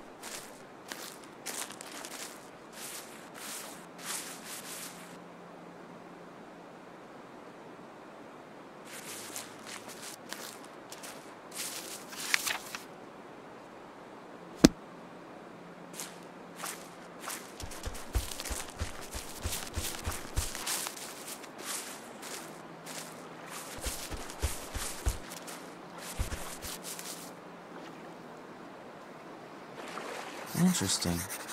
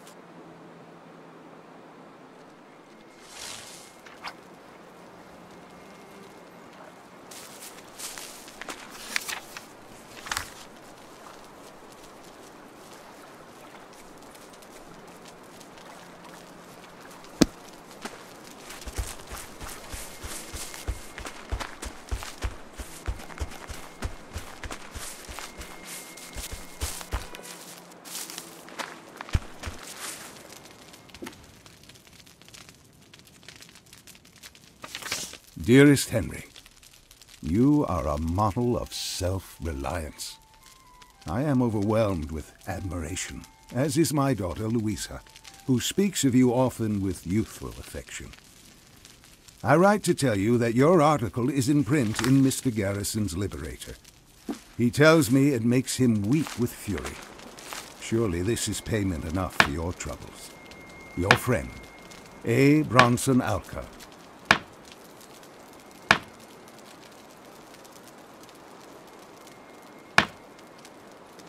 Mm-hmm.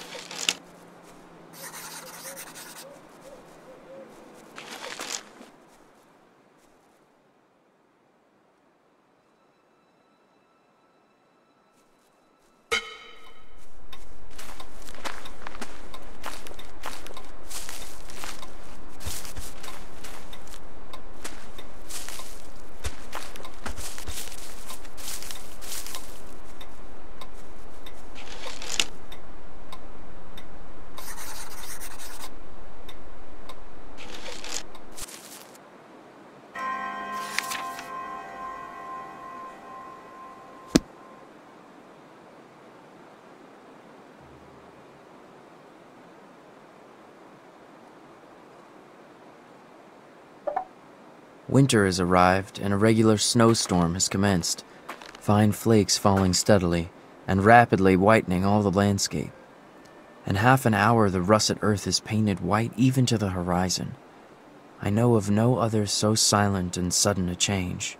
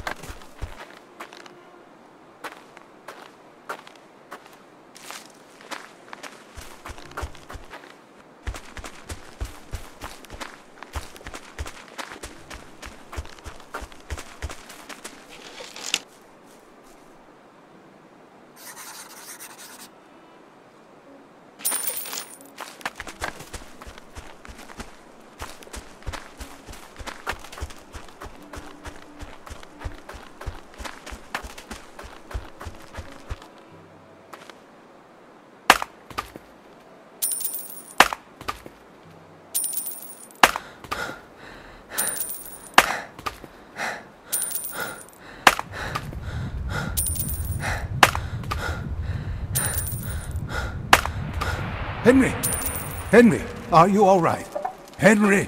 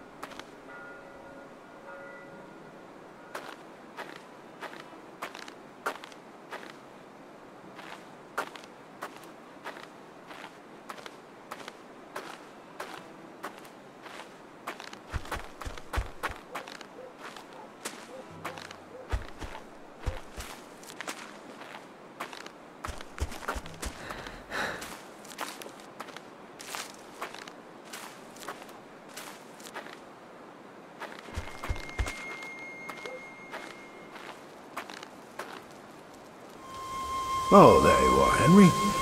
I almost miss seeing you so familiar as your shape there by our hearth. Lydian and I were just saying that we think of you almost as one of our own family now. So often do we see you here.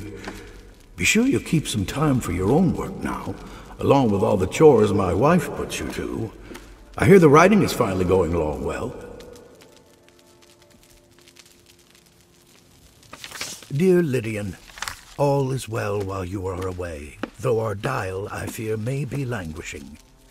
Henry helps with the household chores and the children. He's like one of our family now. I often find him whittling whistles for Waldo or popping corn in the fireplace in the evenings. I think perhaps you should come home soon, or he will forget his writing altogether and the comforts of our home. Be safe and well, R.W. Dear Emerson, I am sorry to write and mar your fine holidays with editorial vexation. However, our next issue of The Dial is not progressing as we would hope.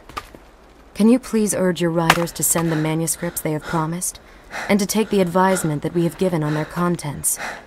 I fear that without attention, our dial will not be long in print. Most sincerely, your friend, Margaret Fuller.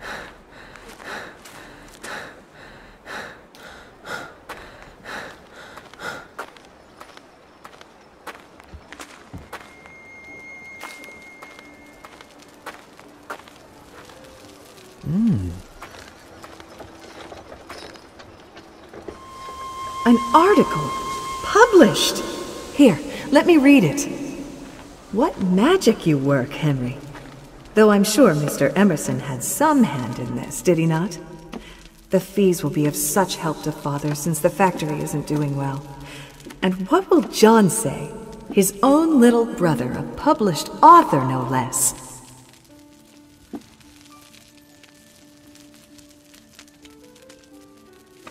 Good tidings of the season, son. Some lamp oil to keep your little cabin bright and warm, father.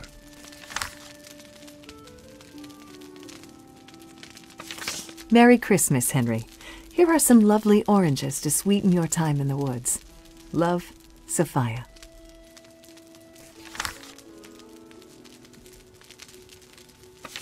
Joyeux Noel.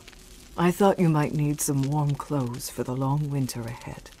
Love, Mother.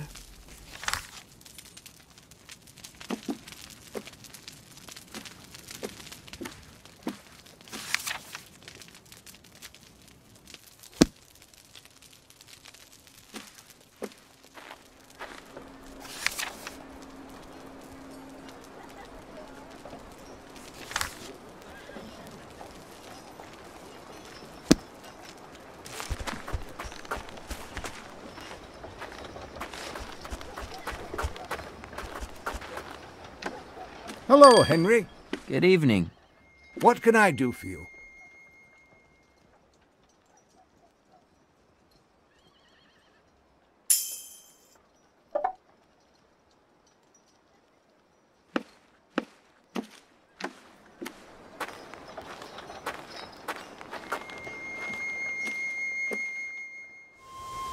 A fine Christmas to you, Henry. Come into town to ward off the chill of the woods, have you? I wager your mother has some hot pie for you to nip.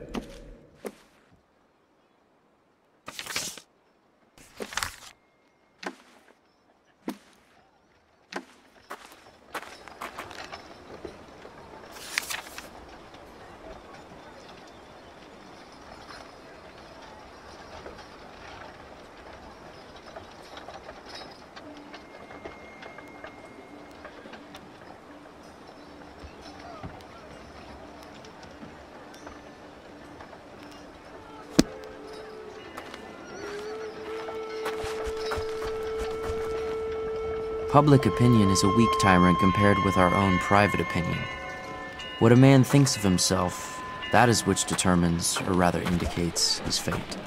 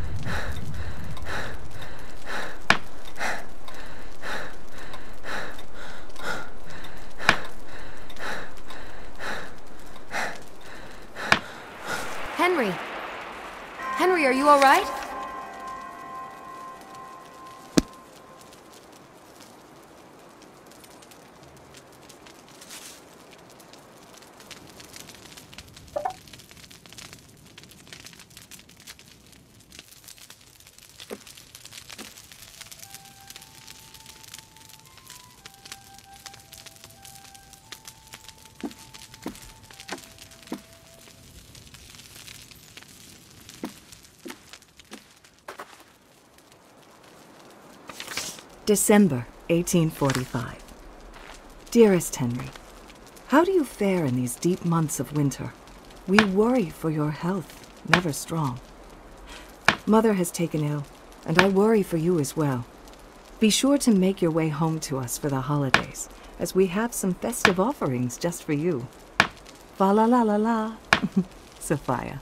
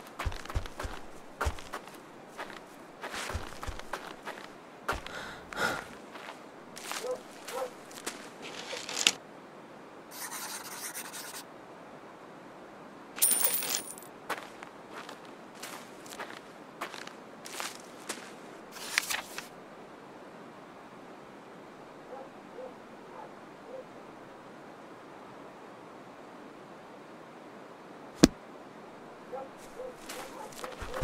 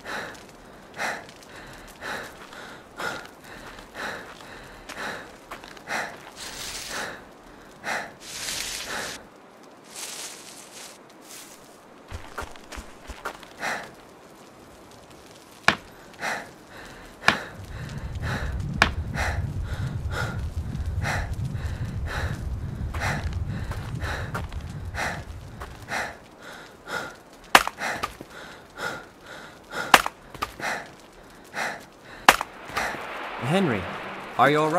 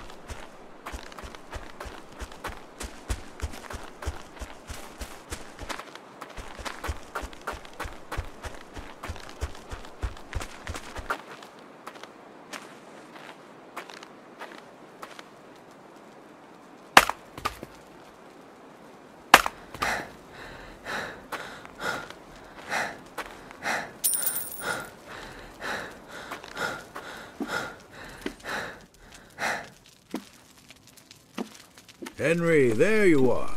Hello.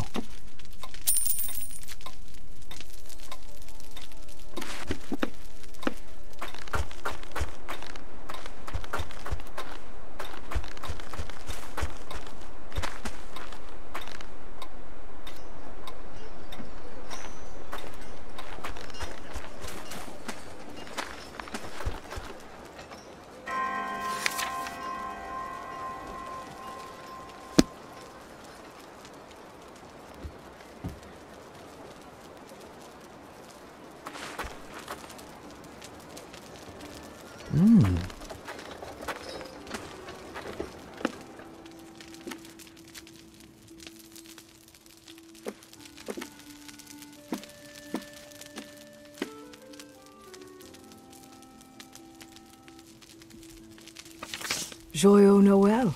I thought you might need some warm clothes for the long winter ahead. Love, Mother.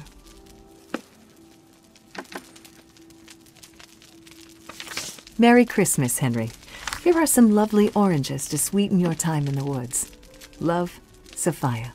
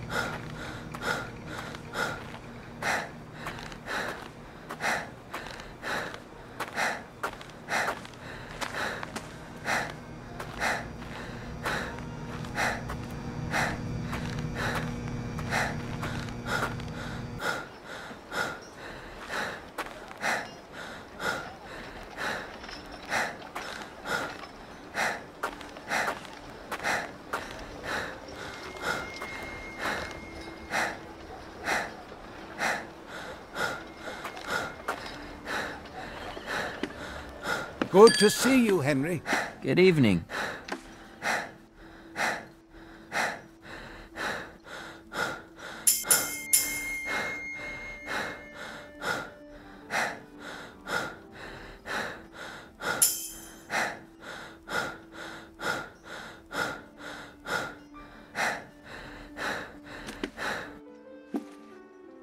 It is never too late to give up our prejudices. No way of thinking or doing, however ancient, can be trusted without proof.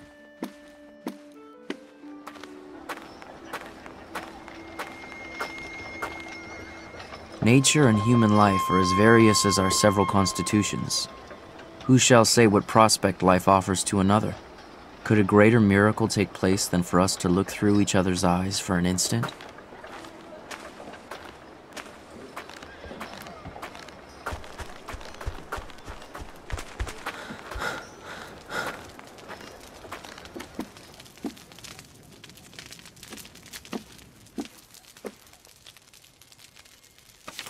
Good tidings of the season, son. Some lamp oil to keep your little cabin bright and warm, father. Every man is the builder of a temple, called his body, to the god he worships, after a style purely his own, nor can he get off by hammering marble instead. We are all sculptors and painters, and our material is our own flesh and blood and bones. Any nobleness begins at once to refine a man's features, any meanness to imbrute them. The greater part of what my neighbors call good I believe in my soul to be bad, and if I repent of anything, it is very likely to be my good behavior. What demon possessed me that I behaved so well?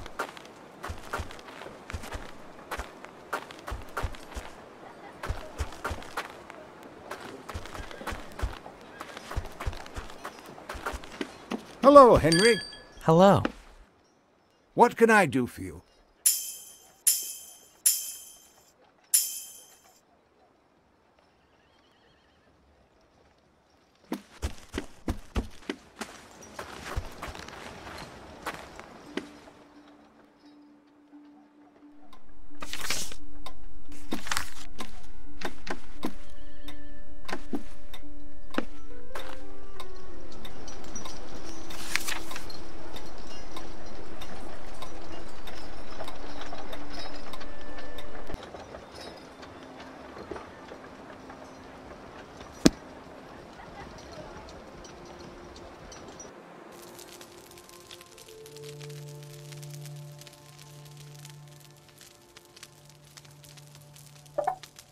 Is not January the hardest month to get through?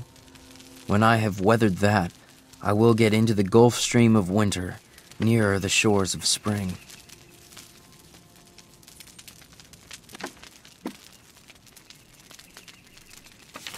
Dear Henry, I see that your family was among the first to sign the recent petition for disunion with the slave-holding southern states. It is a sign of changing sentiments in our small country. Even so, we have much work to do, and I require your assistance once again tomorrow morning. Be certain to check here for my instructions. Hopefully. A. Bronson Alcott.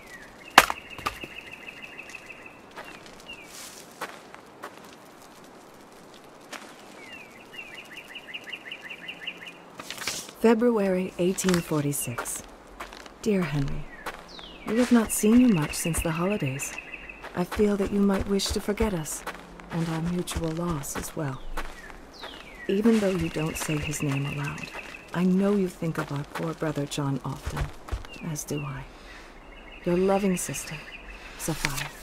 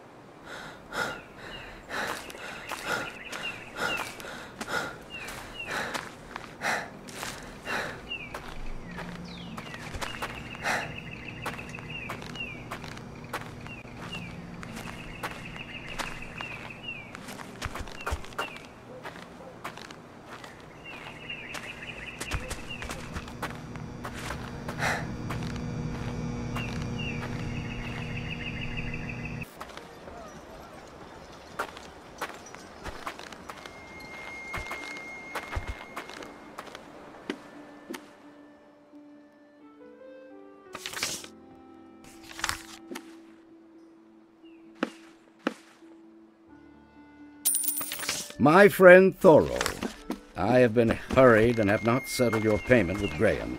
I did see him, but it was at a crowded dinner party where I had no chance to question him on business.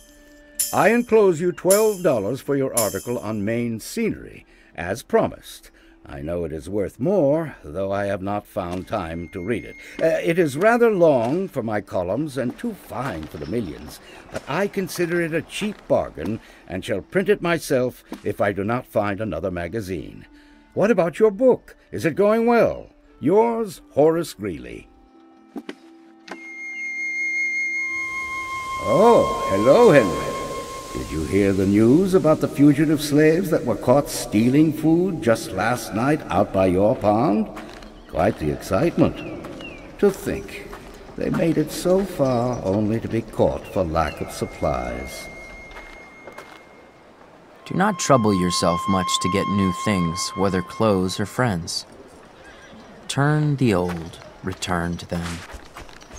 Things do not change, we change.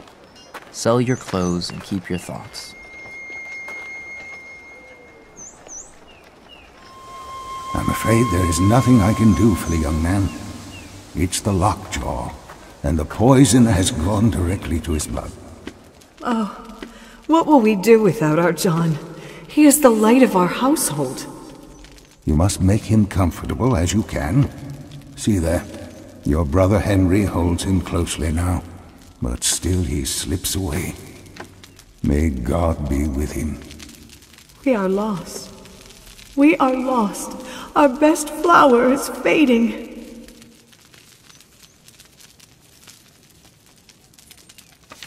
February 1842. Dearest Sophia, I have just heard of poor John's passing, and am suffering from the loss of such a friend. I send my heartfelt best to your family especially Henry. How will he go on without his brother and best friend?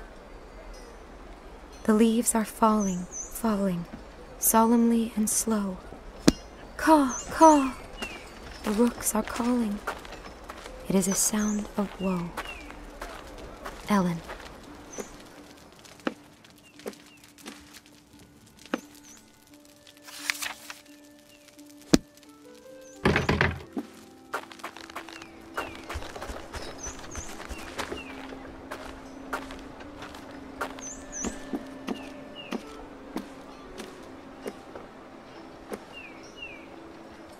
Hello, Henry.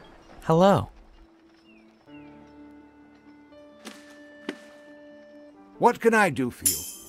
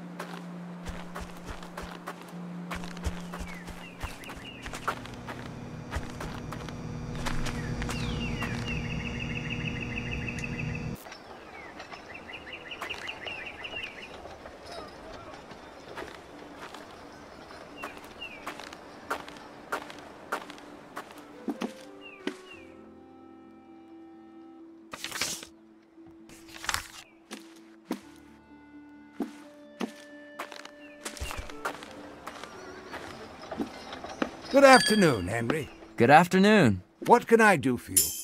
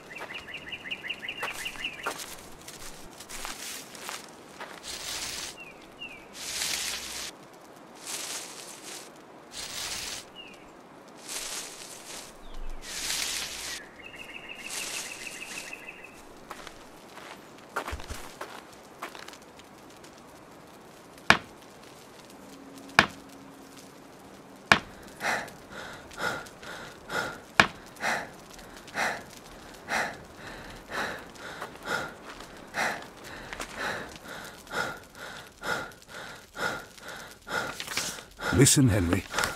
William and Ellen Craft have made their way from Georgia in disguise. She is his light-skinned master, and he is her slave. They are so very close to freedom. Bring these items for them to the abandoned shanty near Fairyland Meadow, and hide them in the place I've marked on your map. Place them before end of night tonight, or they may be captured and returned to a life of enslavement. Yours, A. Bronson Alcott.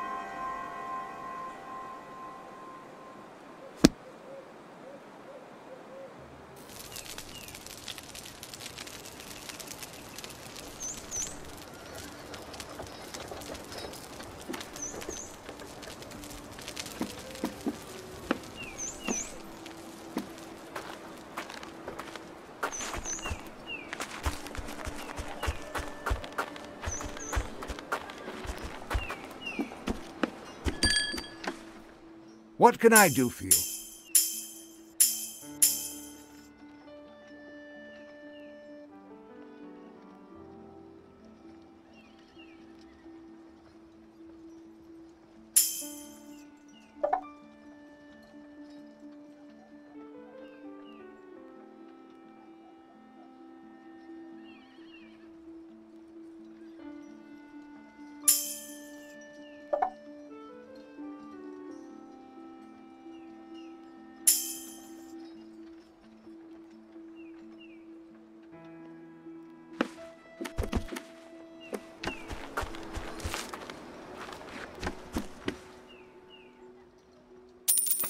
Dear friend Thoreau, I trust you have not thought me neglectful with regard to your business. It is only today that I have been able to lay my hand on the money due you from Graham. I have made Graham pay you twelve dollars, but only send you ten to account for my expenses, and shall now stand even with you in money. Thoreau, if you will only write one or two articles in this spirit, but half the length, I can sell them readily. I remain yours, etc., Horace Greeley.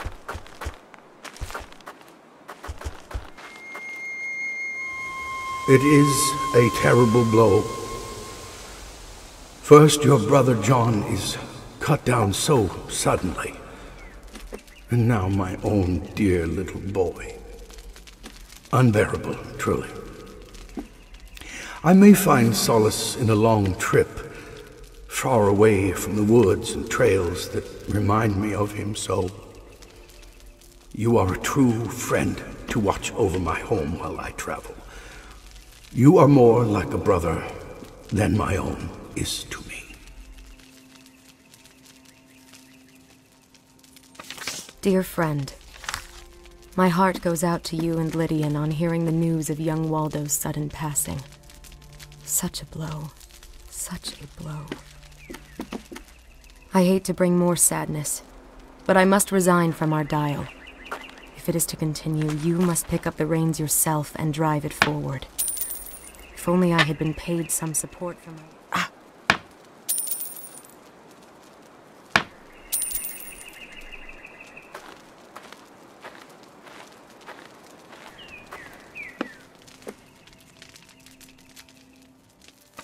My dearest love, Lidian. Our boy, our boy, our little boy is gone. Young Waldo was taken ill on Monday evening and died last night. All his wonderful beauty could not save him. He gave up his innocent breath last night, and my world this morning is cold. Shall we ever dare to love anything again? Farewell and farewell, oh my boy. Come home to us as soon as you are able.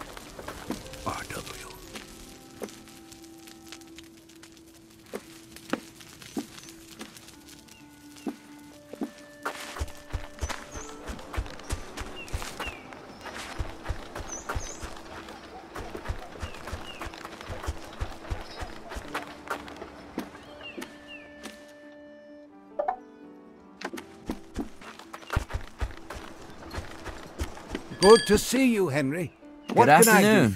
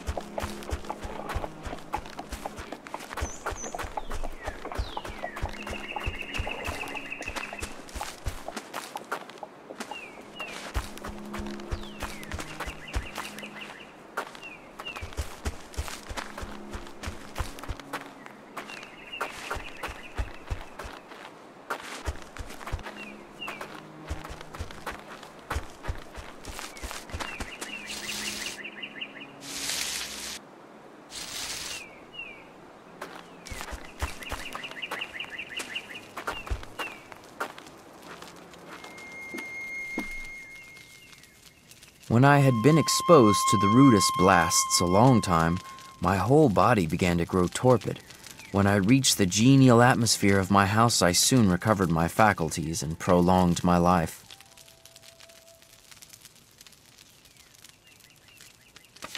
Absent Henry. I regret that you were not able to help William and Ellen Craft as I requested. Without the aid they so desperately needed, they were forced to change course and look for assistance elsewhere. They remain in great peril, as law officials now track and harass fugitives to return to their southern owners under our hateful laws. I hope you will be able to help the next time I call on you. Sincerely, A. Bronson Alcott.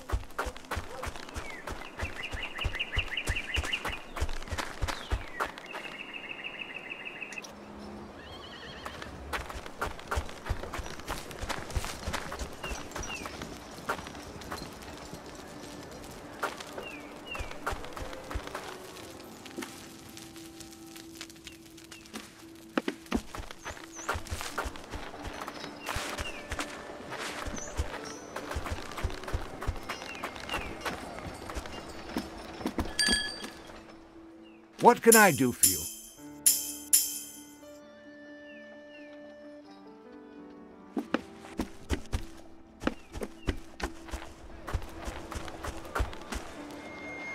I do not speak to those who are well employed, in whatever circumstances, and they know whether they are well employed or not, but mainly to the mass of men who are discontented, and idly complaining of the hardness of their lot or of the times, when they might improve them.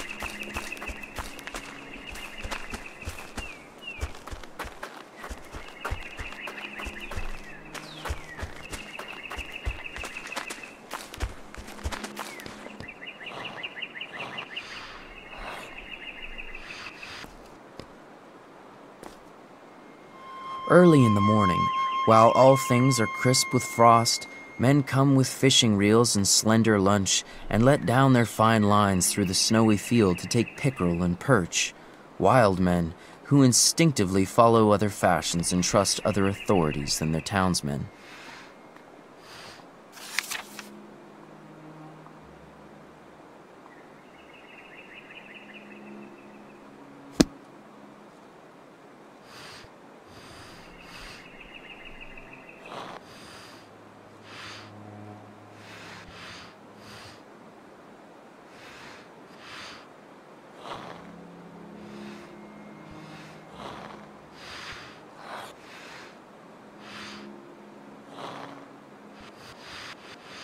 As I was desirous to recover the long lost bottom of Walden Pond, I surveyed it carefully before the ice broke up with compass and chain and sounding line. There have been many stories told about the bottom, or rather no bottom, of this pond, which certainly had no foundation will believe in the bottomlessness of a pond without taking the trouble to sound it.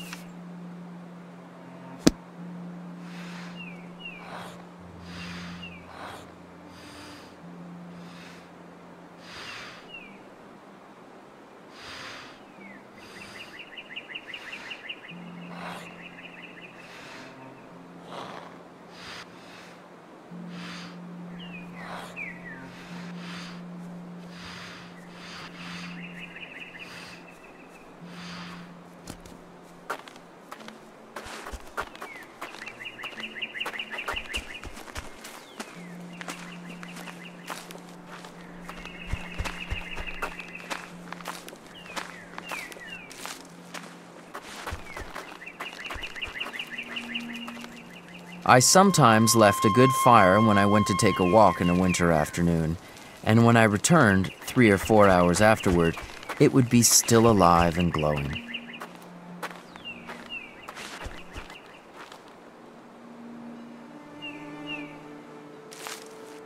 I once had a sparrow alight upon my shoulder for a moment, and I felt that I was more distinguished by that circumstance than I should have been by any epaulette I could have worn.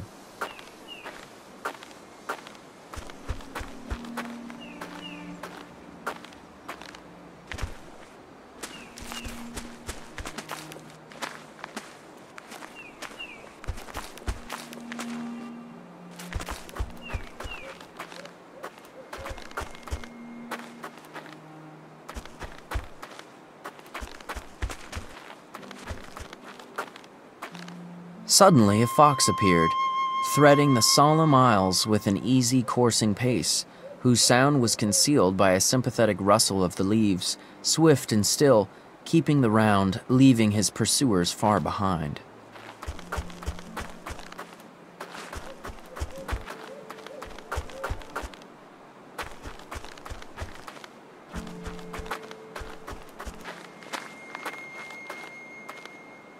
In our most trivial walks, we are constantly, though unconsciously, steering like pilots by certain well known beacons and headlands. And if we go beyond our usual course, we still carry in our minds the bearing of some neighboring cape. And not till we are completely lost or turned round, for a man needs only to be turned round once with his eyes shut in this world to be lost, do we appreciate the vastness and strangeness of nature. Why should I feel lonely? Is not our planet in the Milky Way? What sort of space is that which separates a man from his fellows and makes him solitary?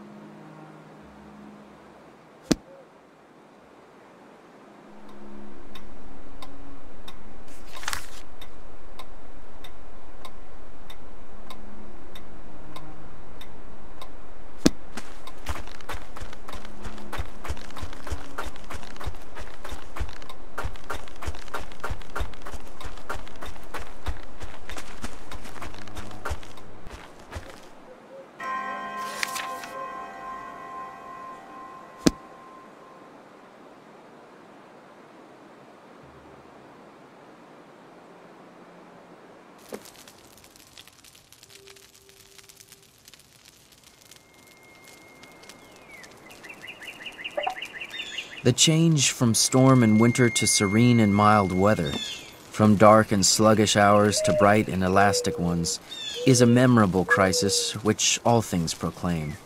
It is seemingly instantaneous at last.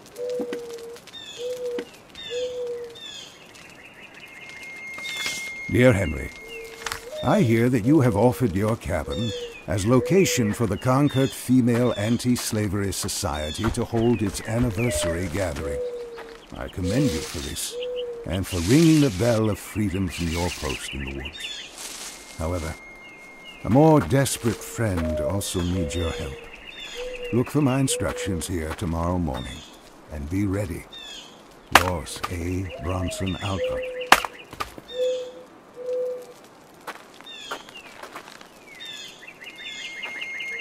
I was startled by the honking of geese flying low over the woods, like weary travelers getting in late from southern lakes, and indulging at last in unrestrained complaint and mutual consolation. Standing at my door, I could hear the rush of their wings when, driving toward my house, they suddenly spied my light, and with hushed clamor wheeled and settled in the pond. March 1846. Henry, the ice in the pond is breaking up, and spring is in the air. I know your favorite season in the woods is approaching, but we hope to see you at home soon. Do your work and come home to us strong and healthy. Remember that you are our only brother now, and Mother's only son. Sophia.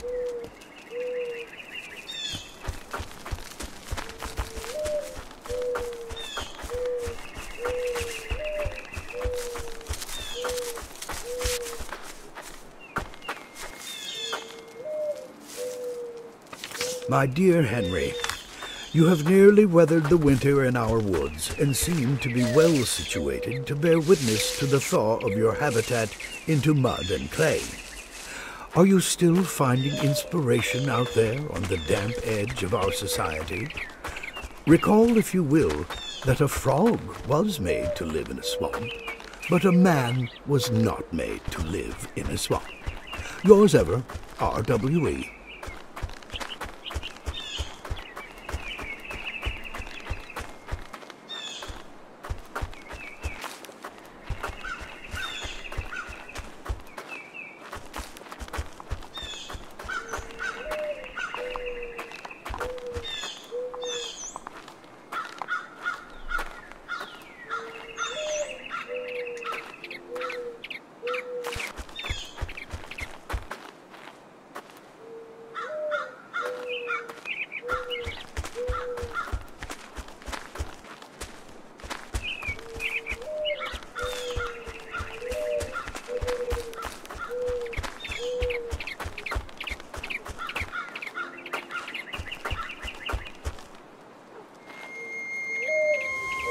I see you have no head for work now, Henry, but I fear for your genius if you don't go back to writing. What do you find on these long walks of yours? Is there a hidden spring of solace hidden in our woods?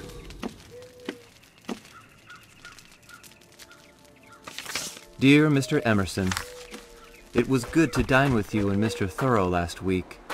He has written a good piece in the last style, which gives the spirit of what he sees. Even as a lake reflects its wooded banks, showing every leaf, yet giving the wild beauty of the whole scene. I sense, however, that such an uncompromising person is fitter to meet occasionally in the open air than to have as a permanent guest at table and fireside. I feel from your cooling praise that you may have suffered some inconvenience in your relations with him? Sincerely, Nathaniel Hawthorne.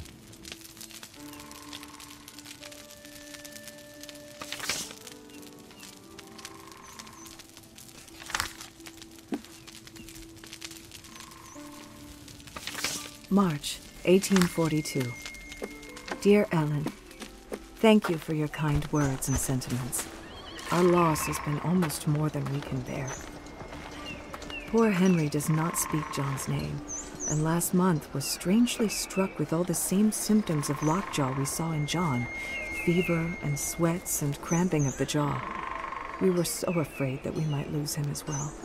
Sincerely, Sophia. Thank you for coming, Ellen. I'm so worried about our Henry. Without John, he is a shadow without its source. He was so ill at first, and now he roams the woods for hours on end. No one knows where he goes, what he does, but he returns sad and silent. Gone is our merry huckleberry captain. I think he intends to go back to work with father in the pencil factory now that the school is closed. But I believe that kind of captivity might kill our wild bird spirit forever.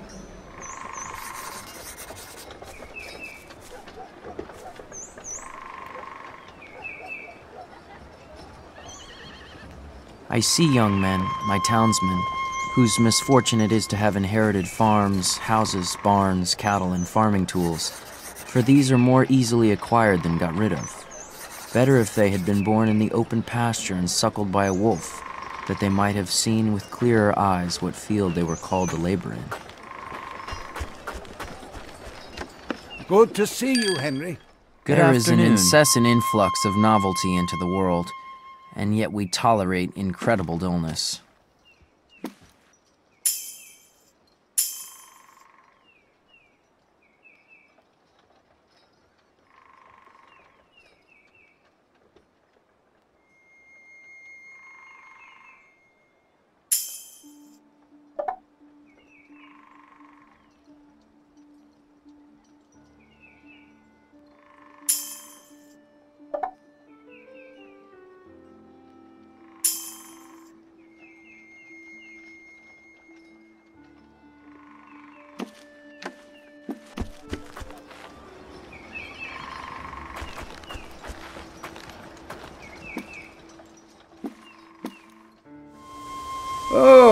Just you, Henry. Such doldrums we are in. I can barely move my fingers in this cold. Will we ever see the spring again?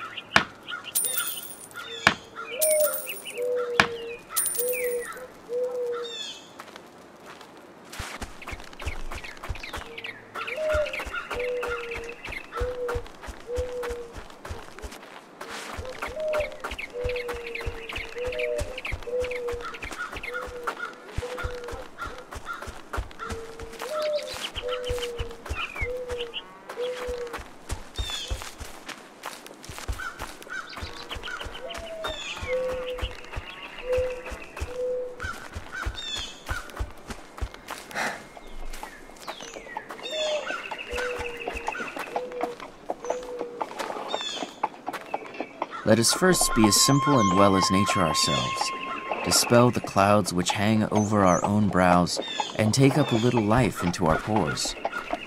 Do not stay to be an overseer of the poor, but endeavor to become one of the worthies of the world.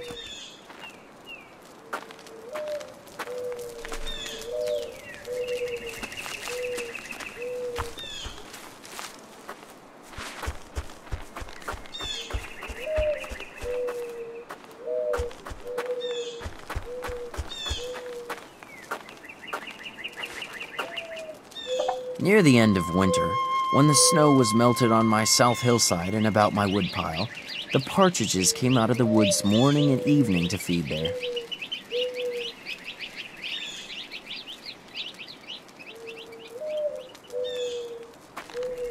Every man looks at his woodpile with a kind of affection.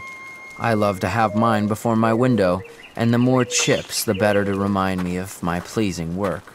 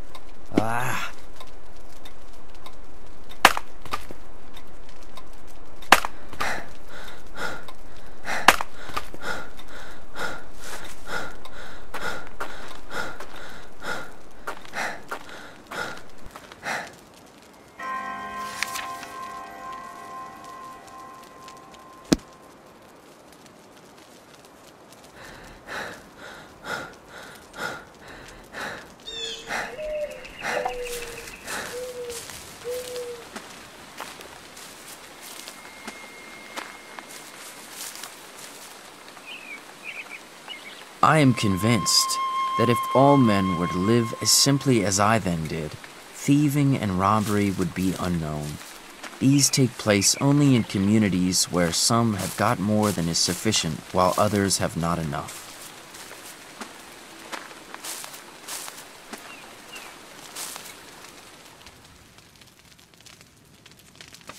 Friend Henry, young Thomas Sims is in grave danger and desperately needs our help. Recently arrived in Boston, concealed aboard a ship from Georgia, he is fleeing north to the border.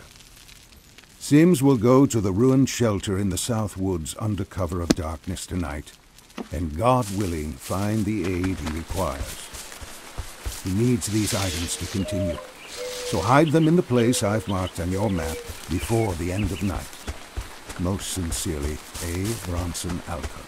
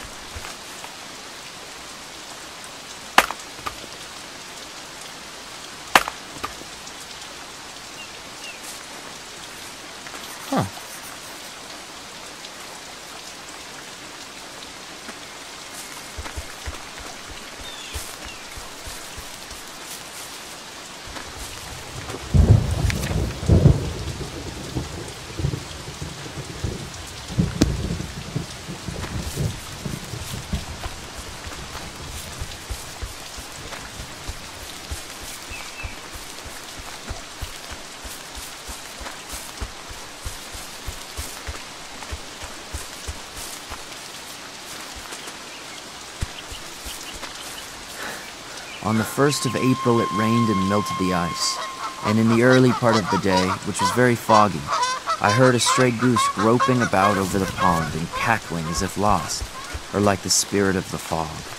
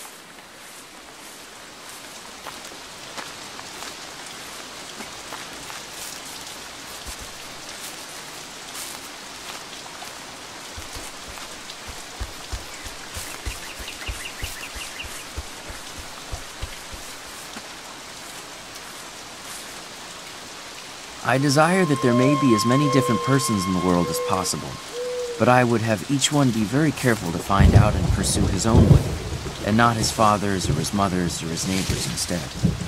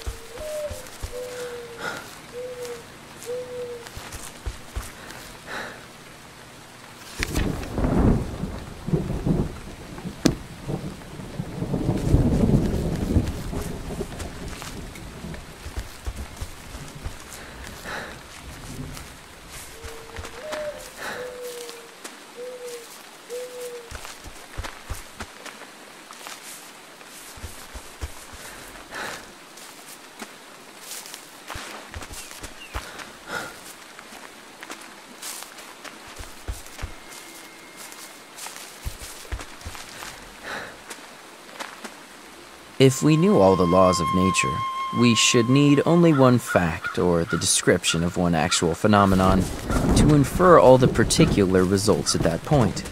Now we know only a few laws, and our result is vitiated not, of course, by any confusion or irregularity in nature, but by our ignorance of essential elements in the calculation. When we have obtained those things which are necessary to life, there is another alternative than to obtain the superfluities, and that is to adventure on life now.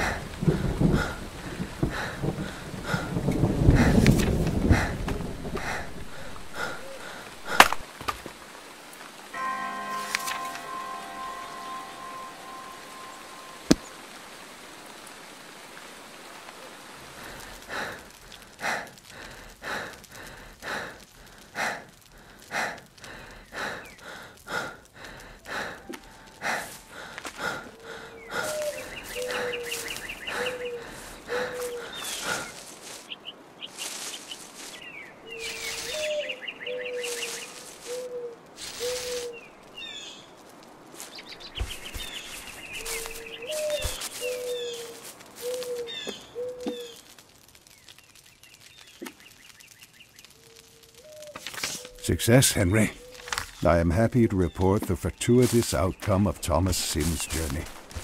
With our help, he was able to avoid agents of the law who would have certainly thrust him aboard a ship bound back to slavery in Georgia. It is a terrible state our country is in, slave power that it is. You must do what you can. Write and speak your conscience. Your friend, A. Bronson Alcott.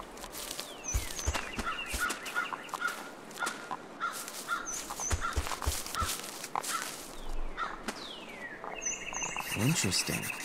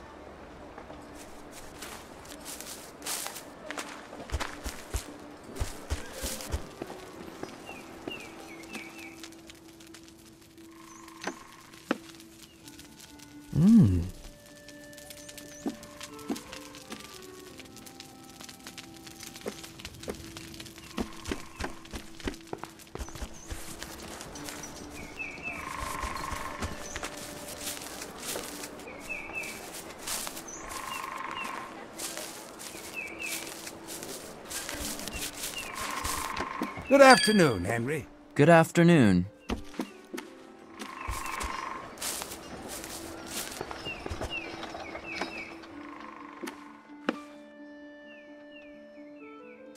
Dear Thoreau, do not scold me for publishing a part of your last private letter to me in the morning paper. It will do readers a great good to learn of your experiment. What do you think of following out your line of thought in a lecture on your experiment? Should you wish to speak in Boston on such a topic, you would need to appear in a fashionable suit. I do not know what you wear about in the woods these days. I can promise a fee of no less than $20 for the appearance. Yours sincerely, Horace Greeley.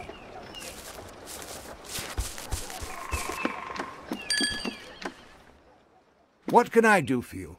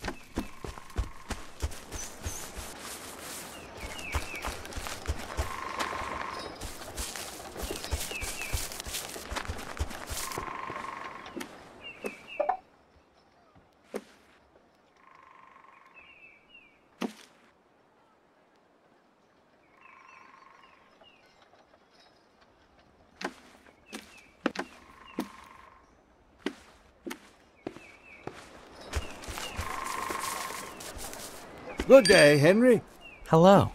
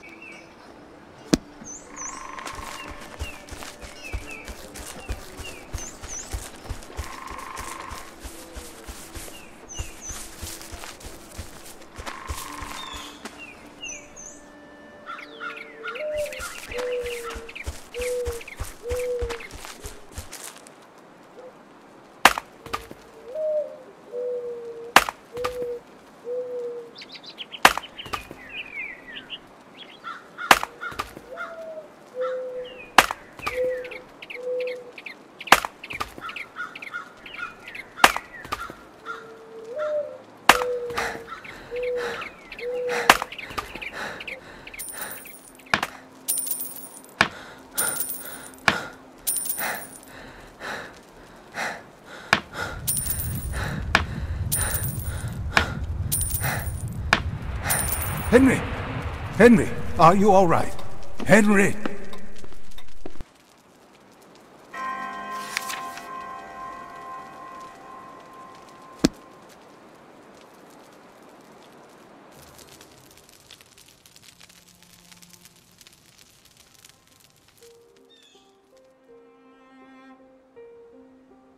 One attraction in coming to the woods was that I should have opportunity to truly see the spring come in.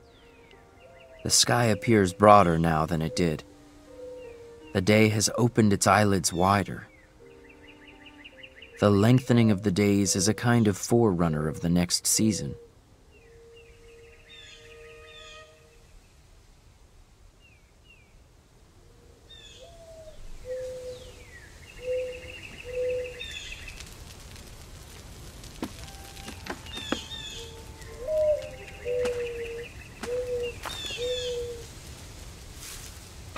Dear Henry, I will soon be off to London and Paris to deliver my new lecture and meet with Mr. Dickens, Lord Tennyson, and Mr. Carlyle.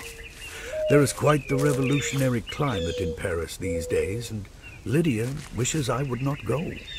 But how can I sit idle when America faces our own impending struggles against tyranny? I think if you were to stay here full time with her and the children, her mind would be more at ease in my absence. What do you say?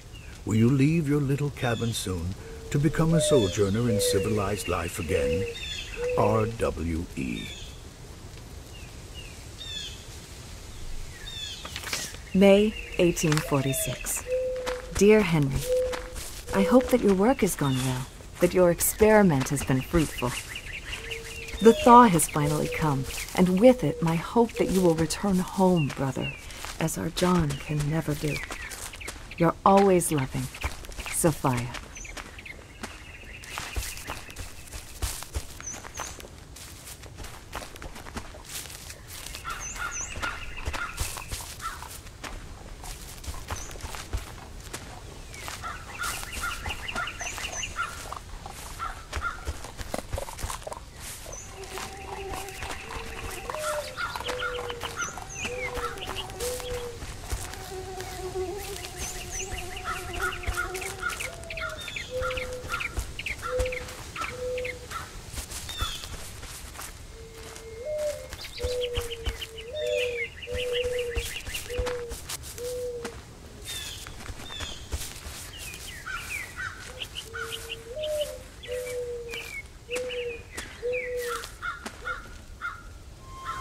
Mrs. Ripley and her friends were so charmed the other night to hear your account of your housekeeping at Walden Pond.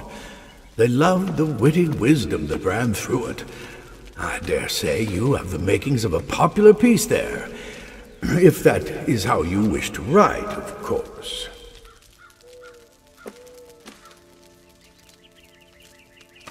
E. A. Duyckinck, Publisher. Dear Sir, Mr. Henry D. Thoreau of this town is working on a book which he wishes to publish. It is the account of his experiment in living in the woods of our Walden Pond. The book has many merits and may be his best work to date. It will be attractive to lovers of nature as well as scholars, and to all thoughtful persons for its originality and profoundness. Would you like to print this book in your American library?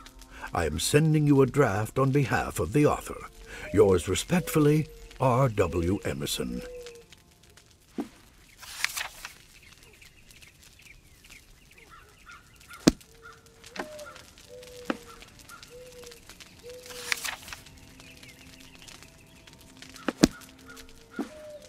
Ah, hello.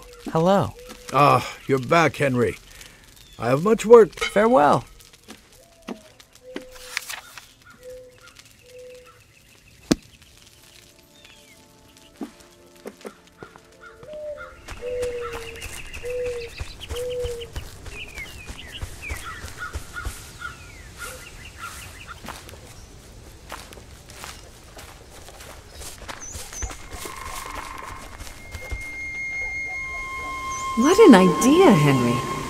Cabin in the woods? And you would live there alone, working and writing? About our woods and your experiment in living? A new kind of adventure. On life, I suppose. I see a thaw in you, Henry. Finally, a new dawn. It's a good plan. Rather than love, than money, than fame, give me truth. I sat at a table where were rich food and wine in abundance, and obsequious attendance, but sincerity and truth were not. And I went away hungry from the inhospitable board.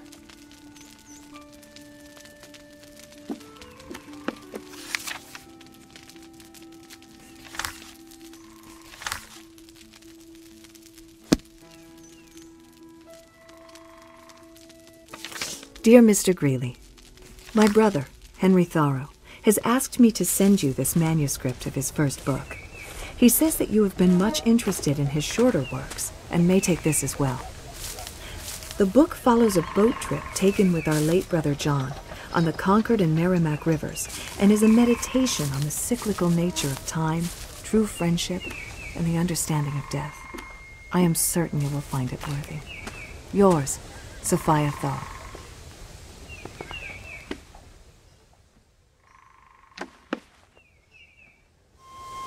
Happy spring to you, Henry. Surely you must be ready to come home now, having seen a full year at the pond. Though it must be fine this time of year. I never have time to see it myself, but a man must make a living.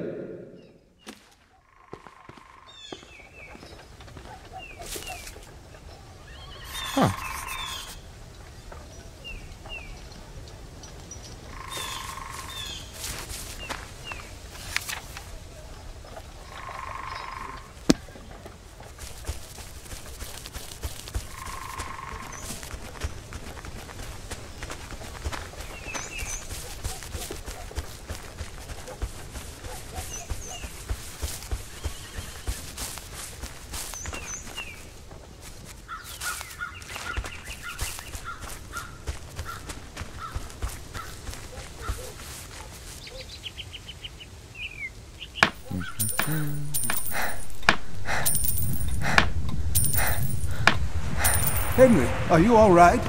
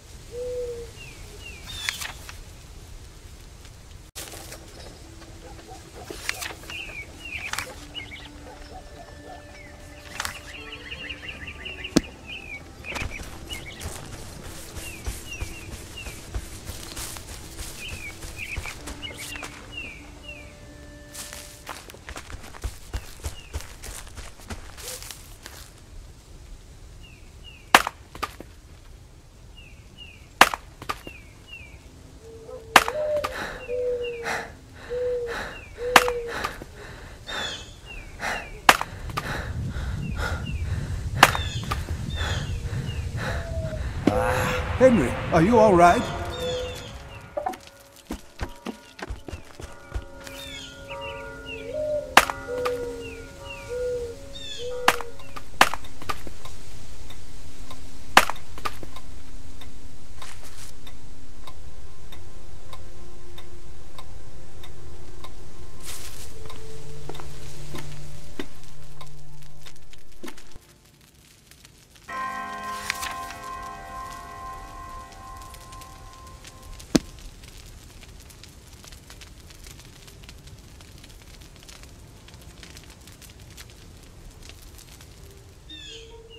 I left the woods for as good a reason as I went there.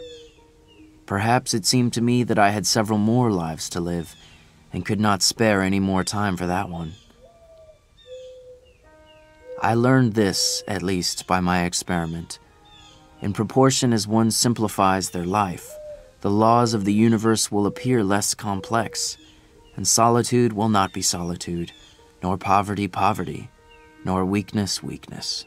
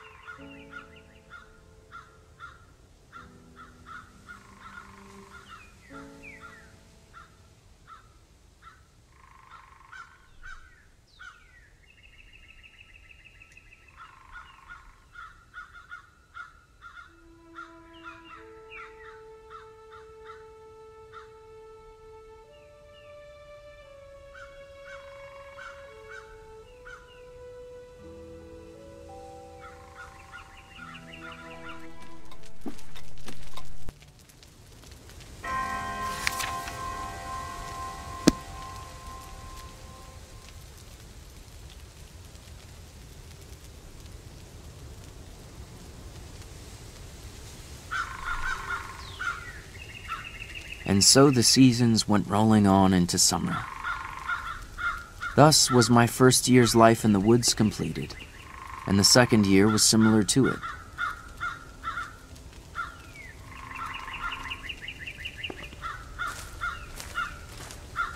Henry, you alright?